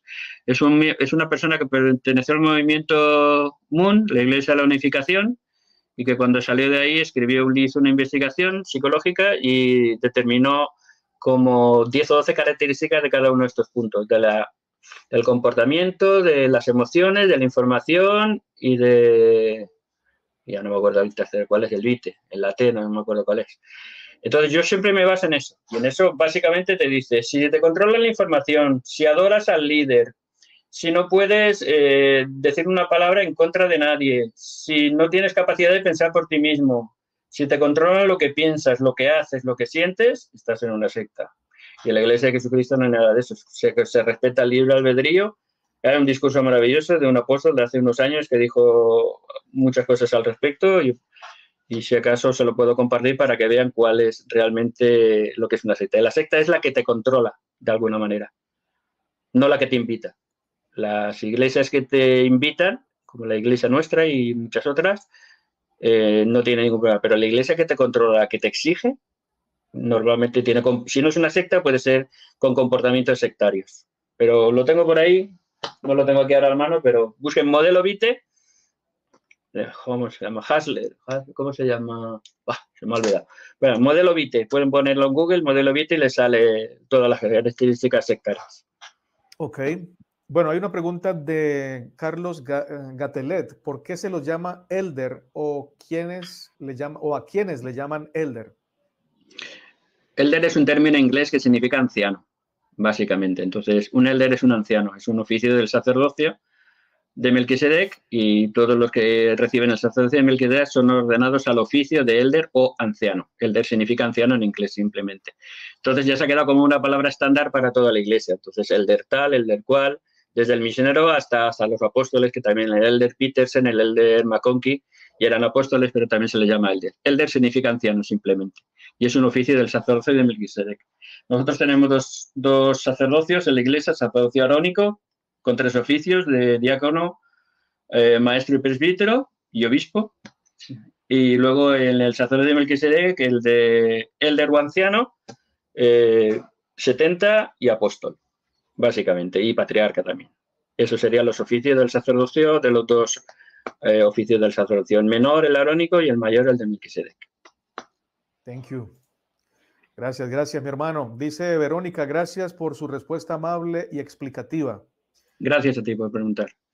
Vamos con Francisco Agustín. Un abrazo bien fuerte a mi hermano y amigo Santiago Lázaro. Espero abunden las preguntas y tus respuestas para que puedan conocer mucho mejor nuestra creencia y nuestra iglesia. Gracias, hermano Francisco. Qué bueno tener a un santo de los últimos días apoyando a su hermano acá. Bienvenido. Agustín es el que me metió en todos estos líos. Él, cuando la pandemia, él me metió en todos estos líos. Así es que lo quiero mucho. Es valenciano como yo tiene una historia muy triste, pero ahora muy alegre. No la voy a contar porque es suya, pero un día puedes invitarlo a él, si, si él quiere, porque tiene, tiene una historia muy bonita. Bueno, a lo mejor no puede, ya te lo explicaré en privado, pero tiene una historia muy bonita y es un gran hombre de Dios y todo mi abrazo y mi cariño, Agustín. Gracias, Agustín. Dice Sebastián, si ya preexistíamos como hijos de Dios, ¿qué propósito tiene esta vida terrenal caída? Entiendo que no todos viven una vida fabulosa, eh, aún viviendo como mormón, entendiendo. ¿Qué le dices? Por supuesto que la vida no es fabulosa, ni mucho menos, es dura y difícil. Ahora, antes de empezar, le estaba contando a Natanael que he tenido un día bastante desagradable hoy. Entonces, estaba a punto de decirle que no podía, pero bueno, me, he sobrepuesto y, he querido venir para, para estar. Tengo la corbata, que parezco un loco, ¿no? No, no, no.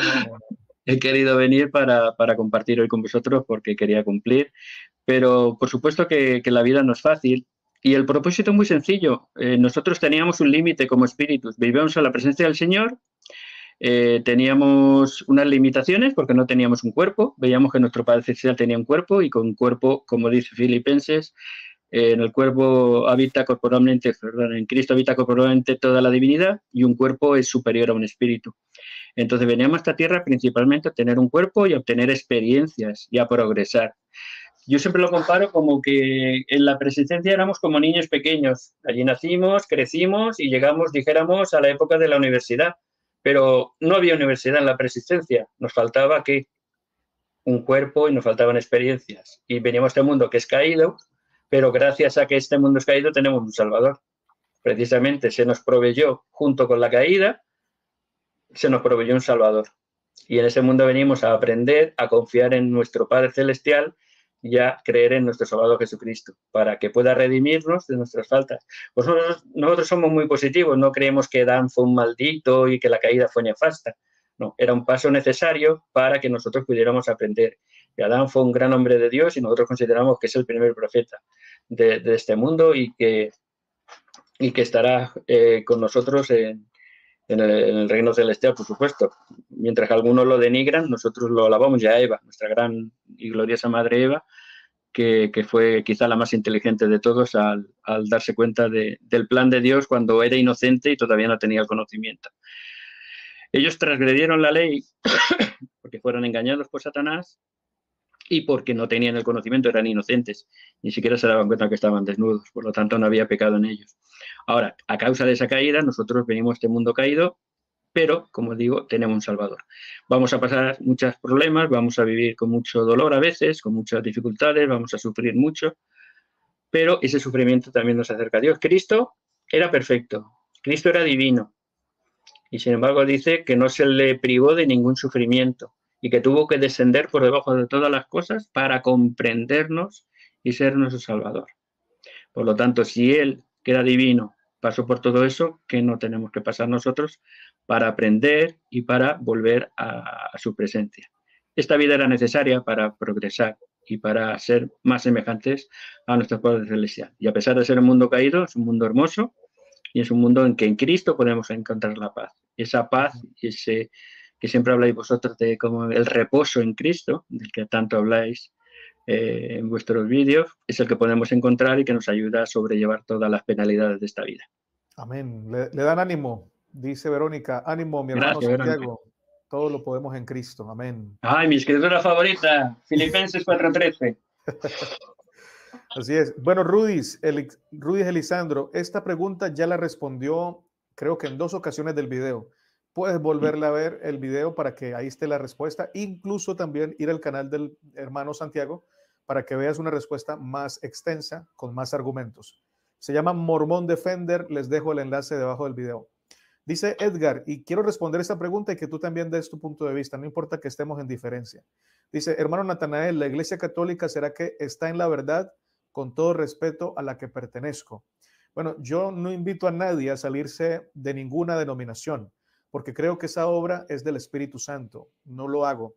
No creo que la Iglesia Católica sea la Iglesia verdadera como ellos lo dicen, pero creo que los católicos en su gran mayoría son honestos, son sinceros y aman a Jesús. Y por eso yo no los saco de su iglesia para que se vengan a una mía o a otra iglesia. Yo no tengo, ¿no?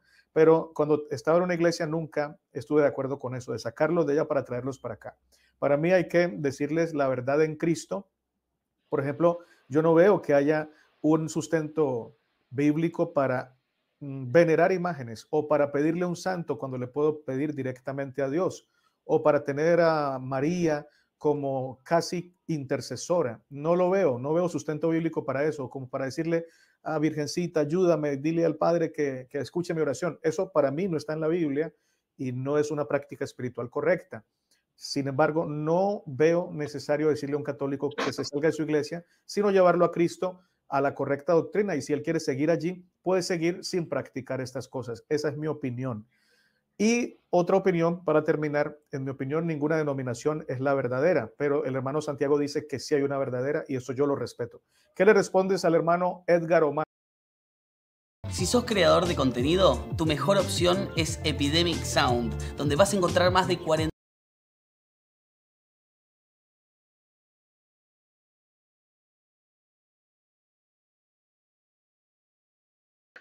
Yo suscribo 100% lo que tú has dicho y simplemente añadiría que Cristo organizó una iglesia, que los católicos dicen que es la iglesia católica y yo digo con todo mi cariño que no, porque la iglesia católica eh, se creó más tarde, no digo con Constantino, como dicen la mayoría de protestantes, que Constantino creó la iglesia, no, yo creo que fue una pérdida de la verdad paulatina, que con la muerte de los apóstoles se perdió la revelación y por lo tanto se fueron perdiendo principios y ordenanzas, como el bautismo por los muertos, que se perdió, y se cambiaron cosas. Eh, tengo por aquí libros de historia, porque a mí me gusta la historia, y tengo libros de historia independientes que te dicen muy claramente que en la época de Constantino la Iglesia Católica ya, que se llamaba católica, ya no tenía ninguna organización, solo quedaban los obispos, que eran los líderes locales, y que la Iglesia Católica copia del imperio todos los, toda la organización. Por ejemplo, el sumo pontífice, que es el Papa de Roma, actualmente era un oficio del sacerdocio de Roma, era el mayor sacerdote romano. La curia era una organización romana, la diócesis era una organización geográfica romana, la curia creo que era el senado o algo así. Es decir, que todos los, los, arzobispos no los encontramos en la Biblia, como tú dices, la mariología no la encontramos en el primer siglo, el bautismo de niños no lo encontramos en el primer siglo, eh, las procesiones no se encuentran, la, Santa Cena con transubstanciación no se encuentra en el primer siglo, hay muchísimas cosas que se han ido cambiando por, interpretaciones humanas, porque con el conocimiento que tenían, pues lo interpretaban así y nosotros no condenamos a nadie, ni, desechamos ni decimos que la Gran Babilonia, ni que ni mucho menos, ni ellos, ni ningún otro, pero sí que decimos que han perdido parte de la verdad y por eso era necesaria la restauración. Era necesaria la restauración, porque necesitábamos las llaves también del sacerdocio. Las llaves se perdieron, se perdieron los apóstoles y se perdió la autoridad, y por eso era necesario restaurar, porque si no, lo que haces en la tierra no queda todos los cielos. Entonces, por eso nosotros sí que invitamos a que vengan a la iglesia, sin decirles que porque no vengan se van a condenar. Eso por supuesto. Excelente. Gracias por esa respuesta. Hay muchas preguntas interesantes. Me gustaría abordarlas todas. Mira esta. Esta te la manda Nixon. No sé por qué hoy no lo dejan escribir en el chat. Se le borran. Pero esta la manda él. Dice, ¿cómo entiendes el evento del diluvio a la luz de la doctrina de los santos de los últimos días o de tu entendimiento? Ya que Pedro en una de sus cartas afirma que ese evento es símbolo del gran bautismo de agua, por lo cual yo veo más bien una salvación para todas aquellas personas y no para Noé, pues él siguió aquí en la carne caída en esta tierra. Bueno, es una interpretación interesante, pero a la luz de las revelaciones que tenemos nosotros, que por supuesto no, no las voy a imponer, pero a la luz de las revelaciones que tenemos nosotros, que explican en el libro de Abraham o el de Moisés, no recuerdo cuál de los dos, explican un poquito más este evento, eh, no es exactamente así. el Señor crea la tierra, el Señor permite que haya una caída, eh, Satanás empieza a tentar a todas las personas y llega un momento en que hay tanta maldad, tanta maldad en la tierra, que Enoch y su pueblo es llevado a los cielos porque ellos eran santos y no queda nadie justo en la tierra. Entonces, el Señor en su infinita bondad hacia, hacia los que teníamos que venir después, tiene que preservar a los justos, que es Noé y sus hijos.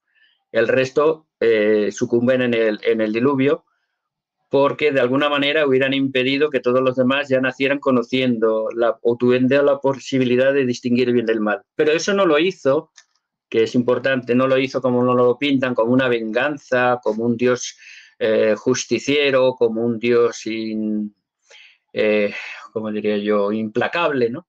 Sino que en la revelación que habla precisamente a Enoch, en el, no sé si es Moisés o Abraham, le dice, Enoch está viendo a Dios y le está diciendo, mira estos hijos que he creado yo, voy a parafrasear, ¿vale? Dice, les di el albedrío, les he dado todo y se vuelven en contra de mí, no tienen afecto natural y prefieren seguir a Satanás. Dice, y yo en mi dolor tengo que traer las aguas sobre ellos para tapar sus pecados. Y dice, y lloro por ellos. Y Enoch testifica que vio a Dios llorando por sus hijos que habían de morir. Y le pregunta, Dios mío, tú que eres santo, eres puro y eres eterno, ¿cómo puedes llorar?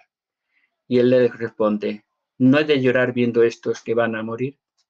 O algo así, ¿vale? Entonces Dios lo hizo como a veces eh, hay que amputar un brazo que, se ha gangrenado y que no hay solución, pues la única solución es cortarlo para poder salvar el resto del cuerpo, la vida humana, pues el Señor tuvo que traer el diluvio sobre las personas que eran completamente inicuas y no tenían posibilidad de redención para preservar una parte justa que era Noé.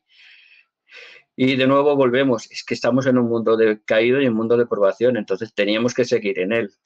Y Dios lo hizo con todo el dolor de su corazón y llorando por sus hijos que iban a perder. Pero a esos mismos hijos, luego eh, el apóstol Pedro dice que Cristo fue a los primeros que fue a visitar en el mundo de los espíritus después de su, después de su muerte. Mientras su cuerpo aún estaba en la tumba, después de su crucifixión, primera de Pedro 3 nos dice que Cristo fue en el Espíritu a predicar a los espíritus encarcelados, los que en otro tiempo desobedecieron en los días de Noé. O sea que estos mismos personas que murieron por las aguas, luego Cristo fue a predicarles el Evangelio y a explicarles las cosas, explicarles su verdadero Evangelio. Por lo tanto, aunque es un pasaje doloroso y difícil de entender, vemos el dolor del Padre y la misericordia del Hijo, que juntos trabajan para la salvación eterna de sus hijos. En ese sentido, la salvación eterna está garantizada para todos aquellos que, realmente acepten a Cristo como su Salvador.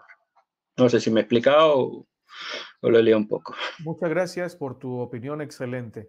Eh, eh, Dixon, Bastián y yo y Verónica diferimos, discrepamos, pero entendemos lo que quieres decir y lo respetamos profundamente. Dice Valdemar, esta pregunta me parece muy buena. ¿Por qué tres reinos, celestial, celestial y terrenal? Y la pregunta continúa acá. Dice y al bautizarse por una persona muerta, ¿cómo se asigna el reino? Ya que son tres reinos. No sé si entendiste la pregunta. Sí, sí, sí. Bueno, primero empiezo por la segunda. Cuando uno se bautiza a una persona, no se asigna ningún reino. Tú solamente estás dándole la puerta, abriéndole la puerta al bautismo para que pueda entrar en uno de esos reinos. No lo sabemos porque el reino se asigna después del juicio final y el juicio final es después del milenio y de la resurrección de todas las personas, la primera y la segunda resurrección. Por lo tanto, eh, no hay ninguna asignación al hacer el bautismo. ¿Y por qué tres reinos? Bueno, pues el Señor así lo ha establecido. El, apóstol Pablo nos lo explica en 1 Corintios 15, creo que es el 40, eh, que dice que hay cuerpos celestiales, cuerpos terrenales, y una es la gloria del sol, otra de la luna y otra la de las estrellas. Nosotros comparamos los reinos celestial al Sol, el terrenal a la Luna y el celestial a las estrellas. Y cada uno difiere en gloria y hay una revelación, que es la visión que está en Doctrinas y 76, donde explica las características y circunstancias de cada uno de esos tres reinos. ¿Por qué tres? Y dentro de esos tres, múltiples subdivisiones, porque hay múltiples características de los hijos de Dios conforme a su vida, a sus obras, a su arrepentimiento y a lo que hayan hecho en esta vida. Y cada uno vivirá en el sitio que más confortable esté y que mejor se adapte a sus características para que cada Dios sea justo, pero a la vez misericordioso. Porque Dios tiene dos características. Justicia, de que cada uno pagará por sus obras y recibirá las recompensas de sus obras, pero a la vez estará feliz y contento porque tendrá lo que se merece y tendrá dentro de sus limitaciones un estado de paz y felicidad y no un fuego eterno de, estar ardiendo constantemente. Entonces, eh, esa sería mi respuesta. No sé si espero haberlo aceptado. Gracias, gracias, muchas gracias. Mira, esta pregunta de tu hermanazo y amigo Francisco Agustín. ¿Podrías... Sabe lo que me gusta, sabe lo que me gusta. Esta es la penúltima pregunta. Luego salgo a otra y ya con esa terminamos. La última de Joana, porque esa también me interesa a mí. Voy a ser ahí tramposo. Dice, ¿no podía, ¿nos podrías explicar, hermano Santiago, si el libro de Mormón coincide con hallazgos arqueológicos en América? Pues sí, afortunadamente tenemos muchas pruebas. El libro de Mormón se escribe, se publica en 1830. En 1830 no existía nada de arqueología en ninguna parte prácticamente del mundo y menos en América. Por lo tanto, eh, aunque el libro de Mormón no es un libro histórico, sí que tiene un contexto y un entorno histórico y podemos identificar, podemos identificar muchas cosas. Entonces, eh, yo en mi, mi blog, que tiene 10 años, y en mi canal de YouTube, que tiene 4 años, he hecho muchos vídeos y artículos eh, de esas pruebas que demuestran que el libro de Mormón no es un escrito del siglo XIX ni una novela del siglo XIX, sino que es un libro histórico. Otra cosa es que sea la palabra de Dios o no, que eso solo se sabe por el Espíritu Santo. Pero a nivel histórico y arqueológico hay pruebas. Por ejemplo, el libro de Mormón nos habla de que habían unas calzadas que comunicaban una ciudad con otras. Y en, el centro, en Centroamérica tenemos los SACB, SACBO, los caminos blancos, que son calzadas que solo hay igual parangón en el, el Imperio Romano. Sin embargo, en Centroamérica lo hay. El obispo Diego de Landa, en su relación de las cosas del Yucatán, contaba cómo eran los indios mayas y decía que los indios mayas creían, su tradición ancestral era que sus antepasados habían venido por mar desde el oriente, justo lo que dice el libro de Mormón, que salieron de Jerusalén en un barco. Justo coincide con la doctrina. Los mayas, por ejemplo, practicaban el bautismo. Y la palabra de bautismo en maya significa, eh, ¿cómo era? La, mm, se. Renacimiento, regeneración, no sé exactamente lo que significa, pero literalmente lo que es bautismo en, para nosotros, una regeneración, una limpieza. Y el, obispo católico se asombraba de que tuvieran esa práctica que es puramente cristiana. ¿no? ¿Por qué? Porque el libro de Mormón eran cristianos también, lógicamente. Eh, luego, el, siempre se creía que el pueblo maya era un pueblo pacífico, tranquilo, mientras que el libro de Mormón habla de guerras, de masacres, de asesinatos, hasta de canibalismo. Y bueno, en 1948 en Bonampak se encontraron unos frescos donde hay unas escenas de guerra terribles. Y entonces se dieron cuenta de que los mayas no eran tan pacíficos como se pensaba. Eso más de 100 años después de que el libro lo estuviera contando. También se hablaba de fortificaciones, de, muros que nunca se habían encontrado y luego se han encontrado esos muros, tal como lo cuenta el libro de Mormón. También hablaba de elefantes y la gente se reía diciendo, en América no ha habido elefantes porque es, se extinguieron en el periodo, en la última glaciación, hace 10.000 años. Y luego aparecen en Copán, este siglo pasado, aparecen en Copán eh, unos relieves con dos elefantes muy claramente tallados del siglo I después de Cristo. Por lo tanto, ahí, así podría estar horas y horas hablando de muchas pruebas que, corroboran la historia del libro de Mormón. Muchas gracias. Dice mi hermano José Nirso, si el agua del bautismo nos limpia los pecados, entonces la sangre de Cristo es vana. No, todo lo contrario. A ver, por, la por el agua somos lavados, por la sangre somos eh, justificados y por el Espíritu somos eh, santificados. Es que el bautismo de agua es una regeneración, es morir a la vida anterior y nacer en Cristo, resucitar en Cristo. Es la sangre de Cristo la que, la que permite que, seamos, que, el bautismo tenga su eficacia. No si no solo sería remojarnos en agua, no tendría ningún significado el bautismo. Sería como bañarnos en la ducha o en una bañera. El bautismo tiene su sentido gracias a la expiación de Cristo, a la sangre de Cristo. Por eso lo dice la coma Juanina, tan denostada. Tres son los que dan testimonio, el agua, la sangre y el espíritu. La sangre nos limpia, el perdón, el agua nos limpia, la sangre nos justifica y el Espíritu nos santifica. Tenemos que ser lavados, justificados y santificados para entrar al reino del Señor. Y precisamente el bautismo en el agua y el recibir el don del Espíritu Santo por imposición de manos es lo que nos da la puerta a la expiación de Cristo, que mediante su sangre somos todos lavados. Pero para que la sangre de Cristo tenga poder en nosotros, necesitamos recibir el bautismo de agua y de fuego. Bautismo por inmersión y la imposición de manos para recibir el don del Espíritu Santo. Es que no podemos separar una cosa de la otra.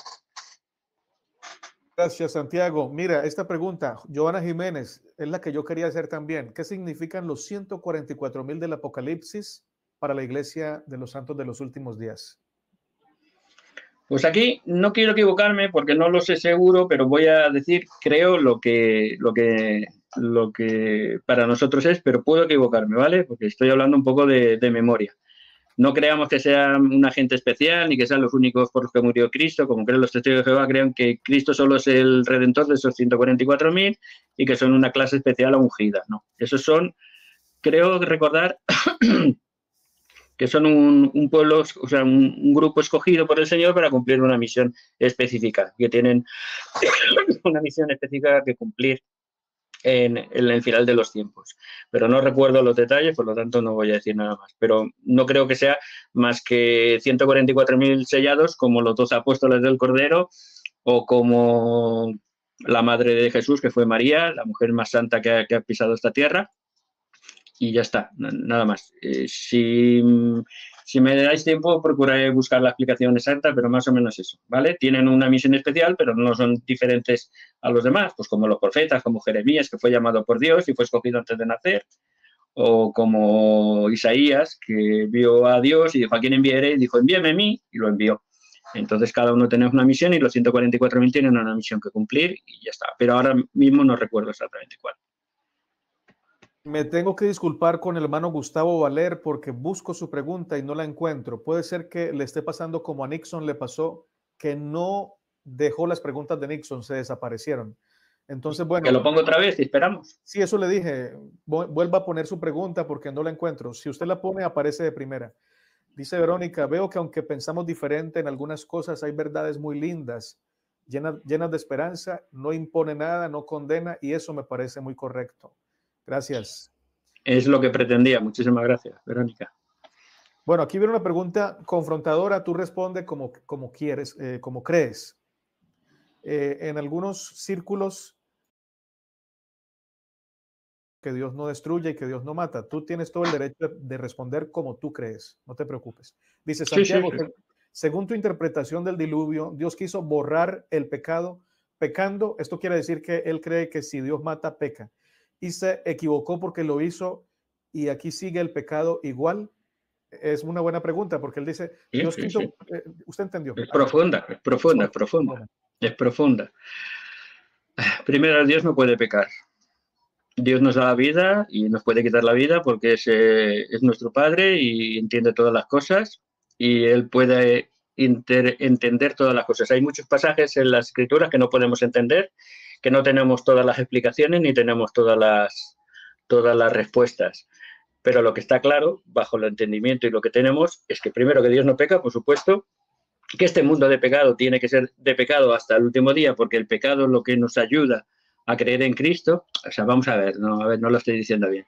El pecado es necesario porque tenemos que tener la capacidad de sobrellevarlo y tenemos que conocer el bien del mal y distinguirlo para poder tomar la decisión correcta, ejercer nuestro libre albedrío. El otro día hablabais de él, nosotros también le llamamos albedrío moral, es decir, la libertad para hacer lo bueno y vencer lo malo. Si no somos capaces de vencer el pecado, pues ningún mérito tiene ni ningún propósito tiene en nuestra vida. Pero eh, hubiera sido más fácil que quitar el pecado, entonces, eh, ¿de, qué sirve venir a esta tierra?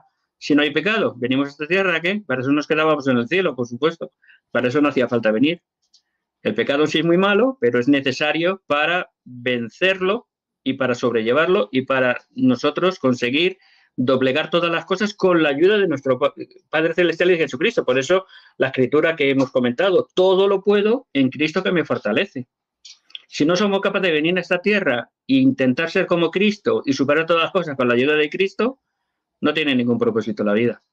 Y por supuesto que a veces, como en el diluvio, hay momentos en que Dios tiene que tomar sus decisiones que son muy dolorosas. La escritura que he citado es real. Dios lloró al hacer esto, pero tuvo que hacerlo para preservar a los demás. Es como he dicho, a veces hay que amputar una mano para salvar la vida humana. Pues en este momento el Señor, pienso yo, que tuvo que tomar esa decisión. No era un pecado porque Él es el Señor que nos da la vida y no la puede quitar y Él es el, dueño de, todo lo nuestro. Y de hecho, como he dicho, luego eh, Jesucristo fue a predicarles el Evangelio. Y esta vida además es solamente un, un periodo temporal. Somos seres eternos, no los destruyó para siempre, no los desintegró, simplemente les quitó su vida mortal y los mandó al mundo de los espíritus para que allí aprendieran el Evangelio y para que allí pudieran comprender mejor las cosas. Entonces, realmente es un poquito difícil de explicar o de comprender, pero, pero ese es mi entendimiento y lo que yo comprendo de eso. Y ese entendimiento, aunque pues yo discrepo, me gusta mucho más ese entendimiento que el entendimiento cristiano que dice, no, eso no solamente los destruyó, sino que los mandó al infierno y los tiene desde ese tiempo quemándose sin descanso y así hasta el final por los siglos de los siglos. No hubiera ido a predicarles entonces Cristo. Oye, para que hubiera ido a predicarles como dicen algunos, voy y dice, ¡eh, ya he resucitado, ya he resucitado! Para burlarse de ellos fue. Algunos lo dicen, fue para demostrar su, ¿cómo dice? Su, su jerarquía, su poder. Tú te crees a Cristo diciendo, ¡eh, ya he resucitado! Ya, vosotros seguís ahí. Perdona la tontería, pero si va es por amor y porque los ama, porque siguen siendo hermanos de Cristo, hijos de nuestro Padre Celestial, a pesar de que hayan sido inicuos. Tenemos que hacer otro video más adelante porque tú no tienes tanto tiempo, de pronto dentro de un mes, para hablar solo del futuro de los impíos según lo ven la iglesia de los santos de los últimos días. Que no ven el infierno quemándose la gente, sino cómo lo ven, cómo será. Que me, me, gusta mucho como ustedes lo definen, aunque discrepo en algunos puntos, pero me gusta. Dice el hermano Otto Turcio, yo quiero aprovechar a decirle hermano Otto, si todavía está presente, que siempre disfruto mucho de sus comentarios y de sus aportes. Son certeros. Hermano Otto, un abrazo. Él dice, interesantes detalles que han sido pasados por alto, pasados por alto.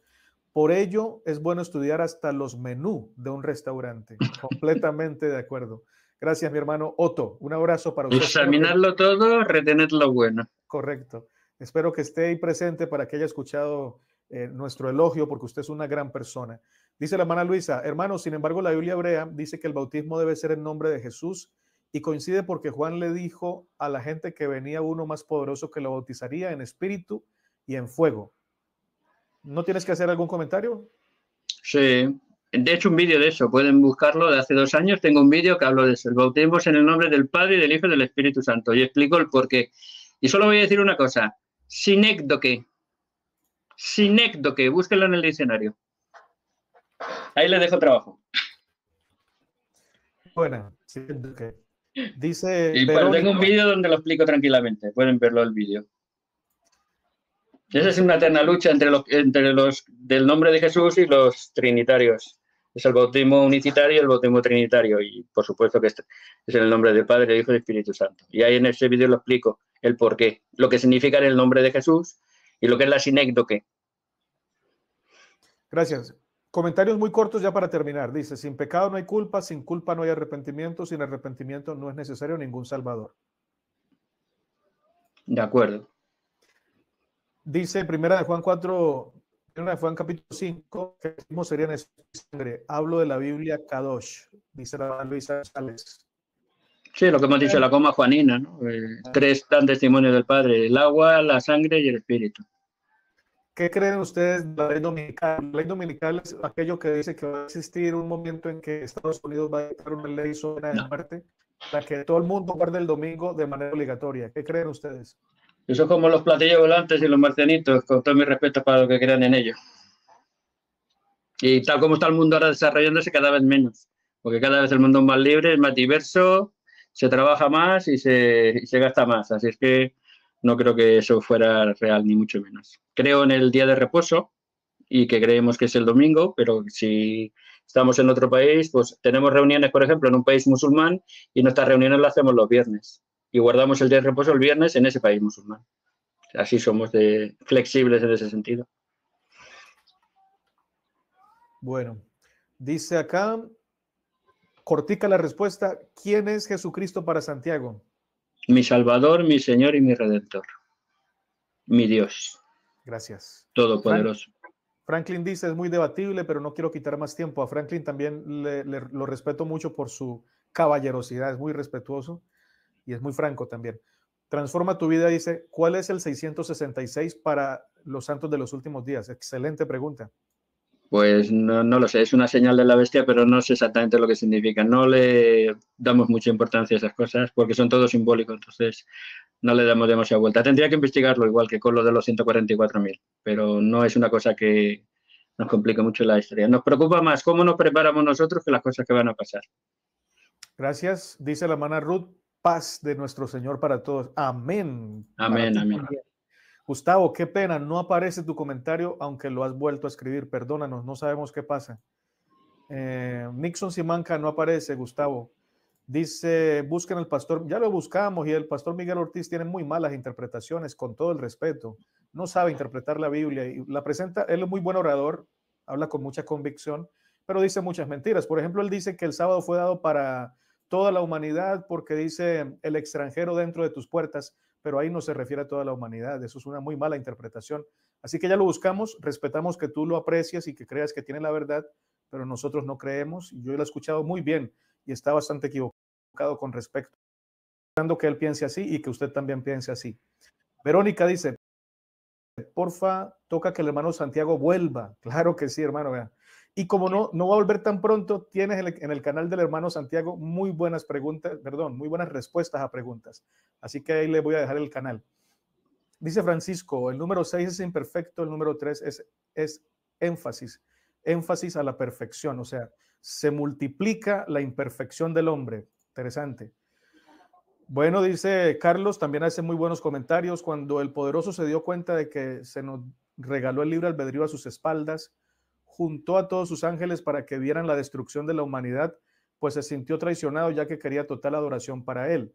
Cuando el ángel más perfecto, Lucifer, hizo ver a los demás ángeles que cómo podía el poderoso tomaba, que cómo el poderoso tomaba tal decisión y defiende a la humanidad siendo apoyado por otros, produciendo la rebelión de los ángeles caídos y siendo confinado con nosotros en esta tierra. Saludos. No sé de dónde sacó esta información, de qué fuente es.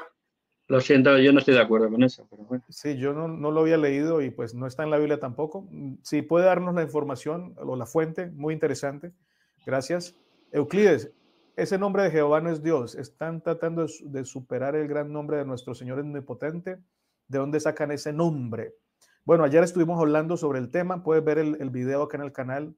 ¿A qué conclusión llegamos? Dice Gustavo Valer, ¿por qué usan música secular, reggaetón, etcétera, después de las reuniones dominicales? ¿Es verdad? No, en las reuniones dominicales solo hay música sagrada. Que luego hay un baile, los jóvenes pongan la música que quieran. Pues a mí no me gusta el reggaetón, pero si a ellos les gusta que se la pongan y ya está.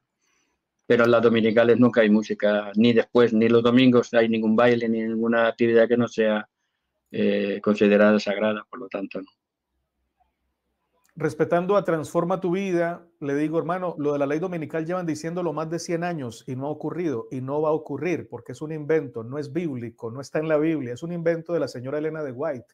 La Biblia no habla de eso, así que no se va a cumplir. Pero usted, usted lo puede creer, claro, y lo puede predicar, pero no se va a cumplir, no es verdad. Ellos dicen que la ley dominical es la, es la marca de la bestia y que adorar en domingo es adorar al sol y que se va a convertir en la marca de la bestia después.